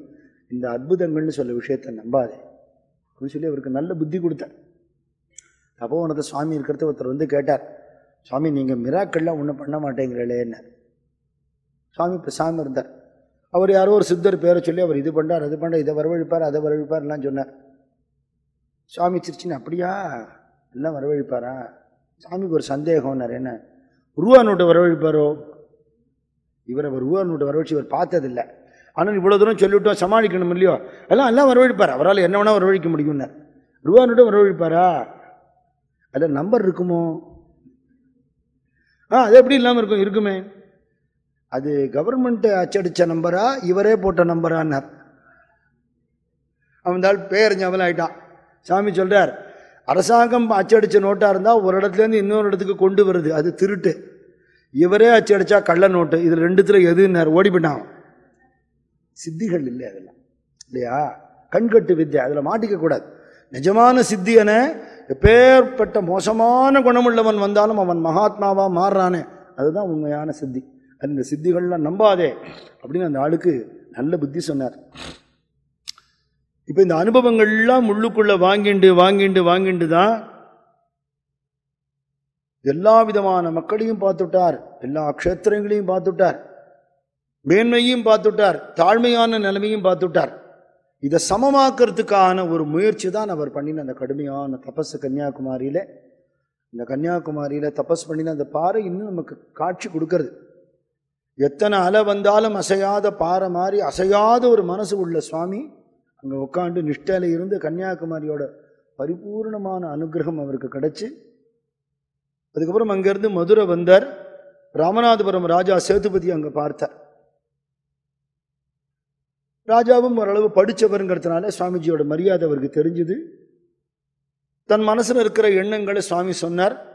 அவசியமாக நீங்கள் சிக்காகோ போகணும் சுவாமி. அதுக்கு என்ன உண்டோ என்னால் ஆன கைங்கரியத்தை நான் பண்ணுறேன்னு ராஜா சொன்னார். நான் இன்னும் ராமேஸ்வரம் போல அதுக்கப்புறம் தான் தீர்மானம் பண்ண முடியும். இந்த எண்ணங்கள் இருக்குது எண்ணம் வலுப்படுறது. ஆனாலும் ராமேஸ்வரம் போயிட்டு வந்து நான் உங்களை தொடர்பு கொள்கிறேன்னு சொன்னார். ராமேஸ்வரம் வந்தார். பொதுவாக நம்ம தமிழ் தமிழ்நாட்டு பக்கம் தெற்கு இருக்கிறவாளுக்கெல்லாம் காசி போகிறது ரொம்ப முக்கியம். அங்கே இருக்கிறவங்களுக்கு ராமேஸ்வரம் போகிறது முக்கியம். நம்ம காசி போகிறதுக்கு முன்னாடி ராமேஸ்வரம் போயிட்டு காசி போயிட்டு ராமேஸ்வரம் வருவோம். அவள் காசியில் இருக்க ராமேஸ்வரம் வந்து காசி போயிட்டு ராமேஸ்வரம் வருவான் அப்படி சிஸ்டம் ஏற்படுத்தியிருக்கா. என்ன அப்படின்னா நம்ம வெவ்வேறு பிரதேசங்கள் வெவ்வேறு பாஷைகள் வெவ்வேறு நம்பிக்கைகள் இருக்கக்கூடிய ஒரு தேசம். இல்லையா? வெவ்வேறு வழிபாடுகள் இருக்கக்கூடிய ஒரு சனாதன தர்மம். அப்படி தானே வச்சிருக்கா? அதனால் இந்த சம்பிரதாயம் இன்றைக்கும் வடக்கத்திக்காரா கூட்டம் கூட்டமாக ராமேஸ்வரம் போகிறதையும் நம்ம தெற்கத்திக்காரான கடங்கு காசி போகிறதையும் நம்ம பார்க்கலாம். சுவாமி அவரோட யாத்திரையில் பரிஜி பரிவிராஜக வாழ்க்கையில் முத முதல்ல போனதே காசி யாத்திரை தான். ஆனால் ராமேஸ்வரம் போகணுங்கிற ஒரு எண்ணம் இருந்தனால இங்கே வந்தார். ராமநாத சுவாமியை தரிசனம் பண்ணினார். ஸ்ரீராமரே பூஜை பண்ணின அந்த மண் மூர்த்தி அவரோட மூர்த்தி. சாரதாதேவி அம்மா சரித்திரத்தில் வரும். பிற்காலத்தில் சுவாமிஜியுடைய பரம பக்தராக மாறின ராமநாதபுரம் ராஜா சாரதாதேவி அம்மாவை கர்ப்பகிரகத்துக்குள்ளே அனுமதித்தார் ஏன்னா ராமநாதபுரம் ராமநாத சுவாமி கர்ப்பகிரகத்துக்குள்ளே எல்லாரும் போயிட முடியாது. மகாராஷ்டிராக்காராக தான் அங்கே பூஜை பண்ணுறாப்புல பகவத் பாதாள் வச்சுருக்கா. பத்ரிநாத்தில் நம்பூத்திரிகள் பூஜை பண்ணுறாப்புல வச்சுருக்கா. இது அவரோட சிஸ்டம் இது. ஆச்சாரியால் சிஸ்டம் அந்த கோவிலுக்கு உரிமை உள்ளவாளை தவிர பூஜை பண்ணுற உரிமை உள்ளவாளை தவிர சங்கராச்சாரிய பீடத்தை சேர்ந்தவாளை தவிர யாராக இருந்தாலும் உள்ள விட மாட்டான். இது சம்பிரதாயம். ஆனால் ராஜாவுக்கு சுவாமிஜி மேலே அவ்வளவு பக்தி. நம்ம சுவாமிஜியுடைய குரு மாதாங்கிறதுனால அம்மாவை உள்ள அனுமதிச்சா. உள்ளே போன உடனே நம்ம சசி மகாராஜ் நூற்றி எட்டு ஸ்வர்ண வில்வதளம் தயார் பண்ணியிருந்தேன் அம்மா கையால் அர்ச்சனை பண்ணுறதுக்கு மேலே கவச்சம் போட்டிருப்பா சுவாமிக்கு. அந்த கவ கவச்சத்துக்கு தான் பூஜை எல்லாம் நடக்கும். சாமானியமாக அந்த கவச்சத்தை எடுத்து காட்ட மாட்டான் சீதை பிடிச்சி வச்ச சுவாமிங்கிறதுனால அம்மாவுக்கு காமிக்கிறான் அம்மா அதை பார்த்துட்டு தன்மயமாகி சொன்ன வார்த்தை அன்னைக்கு பிடிச்சி வச்ச மாதிரியே இருக்காருன்னு சொல்லிட்டான் பக்கத்தில் இருக்கிறவா என்ன என்னன்னு திருப்பி கேட்க அம்மா பேச்சை மாற்றிட்டா ஏன்னா யார் ராமனோ யார் கிருஷ்ணனோ அவர் ராமகிருஷ்ணனுங்கிறாப்பில் யார் சீத்தையோ யார் ராதையோ அவளே தான் சாரதையாக வந்திருக்காங்கிறதுனால ராமநாத சுவாமியோட சன்னிதானம் ரொம்ப முக்கியமான சன்னிதானம். இந்த சம்பவத்துக்கு முன்னாடி தான் சுவாமிஜி போனது. சுவாமி போய் அதை மனமுருகி ராமநாத சுவாமி வழிபட்டு தன் மனசில் இருக்கிற எண்ணங்கள்லாம் ராமநாத சுவாமிகிட்ட சமர்ப்பணம் பண்ணினார். சிவபெருமானோட அனுகிரகத்தோடு தான் பண்ணக்கூடிய அந்த பெரிய காரியத்தை அசாத்திய சாதக சுவாமின் அசாத்தியம் தவக்கிம் வத ராமதூத கிருபா சிந்தோ மத்காரியம் சாதக பிரபோன்னு நினச்சி பார்க்க முடியாத ஒரு காரியத்தை ஆஞ்சநேய சுவாமி ராமநாம பலத்தினால பண்ணினார். தான் பண்ணினேங்கிற எண்ணமே இல்லாமலே அந்த காரியத்தை சாதித்தார் நான் அப்பேற்பட்ட ஆஞ்சநேயர் கொண்டு வந்த விக்கிரகமும் பக்கத்திலேயே காசி விஸ்வநாதர் சன்னதி அங்கேயே போனால் இன்னும் பார்க்கலாம். அவர் கைலாசத்துலேருந்து கொண்டு வந்தது. அவர் கொண்டு வரதுக்கு நேரம் ஆயிடுதுன்னு சீதாதேவி முன்னாடி பிடிச்சி வச்சு அந்த சுவாமி பூஜை பண்ணார். அந்த ரெண்டு சுவாமி அங்கே பார்க்கலாம். அந்த இடத்துல பிற்காலத்தில் அம்மாவை பார்க்கும்போது சுவாமி சொல்கிறார் அயல்நாடு போயிட்டு வந்ததெல்லாம் இந்த தடவை நான் பறந்து போல கப்பலில் தான் போனேங்கிறேன் கடல் கடந்து போனது. சீ எப்படி சீதாதேவியான தன்னோட ரகசியத்தை அம்மா எப்படி சொன்னாலும் மறை மறைந்து போய் மறைக்காமல் சொல்லிட்டான் அது மாதிரி சுவாமிஜியும் சிவ அம்சமாக பிறந்தவருங்கிறதுனால ஆஞ்சநேய சுவாமியை நினச்சா சுவாமிஜி ஞாபகம் வரும். பரமேஸ்வரன் நினச்சா சுவாமிஜி ஞாபகம் வரும். இந்த தடவை நான் கடல் கடந்து பறந்து போகாமல் கப்பலில் போனேன்னு ஹாஸ்யமாக சொல்கிறேன் சுவாமிஜி. அந்த இடத்துல அவருடைய அத்தனை பிரார்த்தனைகளையும் ராமநாத சுவாமிகிட்ட லோகக்ஷேமத்துக்காக பண்ணிட்டு சுவாமிஜி அங்கேருந்து கிளம்புறார். அதுக்கப்புறம் பாண்டிச்சேரி வந்தார். மன்மதநாத பட்டாச்சாரியா வீட்டில் தங்கினார். அங்கே அவர் இருக்கிறது தெரிஞ்சு நிறைய பேர் வந்து பார்த்தா அதில் ரொம்ப பழமைவாதியாக இருக்கக்கூடிய ஒரு பிராச்சீனமான பண்டிதரை வந்து பார்க்கிறார். நம்ம தர்மத்தோட சனாதன தர்மத்தில் இருக்கக்கூடிய சட்டத்திட்டங்கள்லாம் ரிஷிகள் போட்டது அது யாரும் மாற்றக்கூடாது மாற்றத்துக்கு யாருக்கும் அதிகாரம் இல்லை. அனாச்சாரமான காரியங்கள் பண்ணக்கூடாதுன்னு தசு புசுன்னு ஏதோ நிறைய அடித்து விடுறார். சுவாமி சொன்னார் சரிதான். ஆனால் சட்டத்திட்டங்கள் அதிகமாக போட்டு யாருக்கும் நம்பிக்கை இல்லாமல் பண்ணுறது என்ன லாபம்னு கேட்டேன் இல்லையா? சட்டத்திட்டத்தை மாற்றணும்னா உடைக்கணும்னா சொல்லலை. ஒரு இடத்துல வந்து ஒரு பழுது இருக்குன்னா அந்த பழுது பார்த்து சரி பண்ணி பயன்படுத்துகிறாப்பில் பண்ணணுமே தவிர எது சரின்னு கண்டுபிடிக்கணும்? ரிஷிகள் காலத்தில் வேதம் எப்படி இருந்ததுங்கிறத வேதத்தை அத்தியனம் பண்ணி பார்த்து தெரிஞ்சுக்கணும். ரிஷிகள் சரித்திரத்தை பார்த்து தெரிஞ்சுக்கணும். நடுவில் பல காலகட்டங்களில் தூசி தும்பட்டம் பண்ணுறது மாதிரி பல பேரோட அபிப்பிராயங்கள்லாம் சேர்ந்து போய் இன்னைக்கு நடைமுறையில் இருக்கிற வைதீக சம்பிரதாயம் ரிஷிகள் சொன்ன சம்பிரதாயத்துக்கு மாறுபாடாக இருக்குது ஆன்மீகம்ங்கிறது எல்லாருக்கும்ங்கிறது இல்லாதபடிக்கு ரெஸ்ட்ரிக்டடாக இருக்குது அப்படி இருக்கக்கூடாது. ரிஷிகள் சொன்னதை கடைப்பிடிக்கணுமா? ரிஷிகள் சொன்ன காலத்தில் எப்படி இருந்ததுங்கிற எண்ணத்தோடு நாம் அந்த காரியத்தை பண்ணணும். அப்படி இல்லைன்னா நம்ம ஜனங்கள் வைதிக தர்மத்தை விட்டுடுவா. ஒன்றும் மதம் மாறி போயிடுவா இல்லை நாஸ்திகாலாக போயிடுவா. காலத்துக்கேற்ற மாற்றம்ங்கிறது பழசை மாற்றுறது இல்லை பழசில் இருக்கிற சேர்ந்து போன குத்தத்தை சரி பண்ணுறது அப்படின்னு அவர் ஒத்துக்கவே இல்லை. சாமிஜி என்ன சொன்னாலும் ம- கதாபின்னா? அப்படி மாதிரி. இல்லை கிடையாது கிடையாது. அப்படின்னு கத்துவார் சாமி சொன்ன பரவாயில்ல. ஆனால் ஏதோ உங்களுக்கும் எனக்கும் நாலு பேருக்கு ஹிந்து தர்மம் சொந்தம்னு நினச்சிக்காதீங்க. உலகத்தில் அவ்வளோ பேருக்கும் சொந்தமானது. இல்லையா? அத்தனை பேருக்கும் சொந்தமானது. அதனால் அவ்வளோ பேருக்கு சொந்தமான விஷயம் அவ்வளோ பேருக்கு போய் சேரணுங்கிறதுக்கு நாம் என்ன பண்ணணுமோ அதை பண்ணுறதுக்கு நமக்கு கடமை இருக்குது நாம் மறுத்துட்டோம்னா யாருடைய வழிபாடையும் உரிமையும் நாம் மறுக்கிறோமோ அந்த உரிமையை கையில் எடுத்து நம்ம போராடுற நாள் ரொம்ப தூரத்தில் இல்லைன்னு சுவாமிஜி சொன்னார். நீங்கள் நம்ம பார்க்குறோம் அதெல்லாம். தீர்க்க தரிசனம் அவர் சொன்ன ஒரு ஒரு வார்த்தையும் அவனோட உரிமையை நீ கொடுக்க தவறினால் அவன் உரிமையை பிடுங்கிப்பான். அந்த ஒரு கா- ஒரு காலம் வரும்னு சொன்னார். அந்த காலங்கள்லாம் நம்ம பார்க்குறோம். அங்கேருந்து கிளம்பி மன்மதநாத பட்டாச்சாரியாவுடைய சென்னை வந்தார். சென்னை தான் அவருடைய திருப்பணிக்கு நிறைய மகத்தான சேவை பண்ணியிருக்கு. அந்த பாக்கியம் மெட்ராஸ்காரால் நமக்கெல்லாம் கிடச்சிருக்கு. அதனால் ராமகிருஷ்ண மிஷனோட முதல் பிரான்ச்சுங்கிறது இந்த சென்னையில் தான் கிடச்சிது. இந்த சென்னையில் சுவாமிஜி இருந்த காலத்தையும் பிற்பாடு அவர் சிக்காகோ போயிட்டு வந்து தான் விவேகானந்த ஹவுஸில் இருந்தார். அது அப்புறமா முன்னாடி போகிறதுக்கு முன்னாடி இவா வீட்டில் தங்கியிருந்தார். அப்போ யார் யாரெல்லாம் இவர் வந்து பார்த்தா அவள்லாம் சுவாமியுடைய திருப்பணியில் எவ்வளோ பங்கெடுத்துட்டாங்கிற விஷயத்தில் நம்ம நாளை சத்குருநாத் மகாராஜ் கி ஜெய்.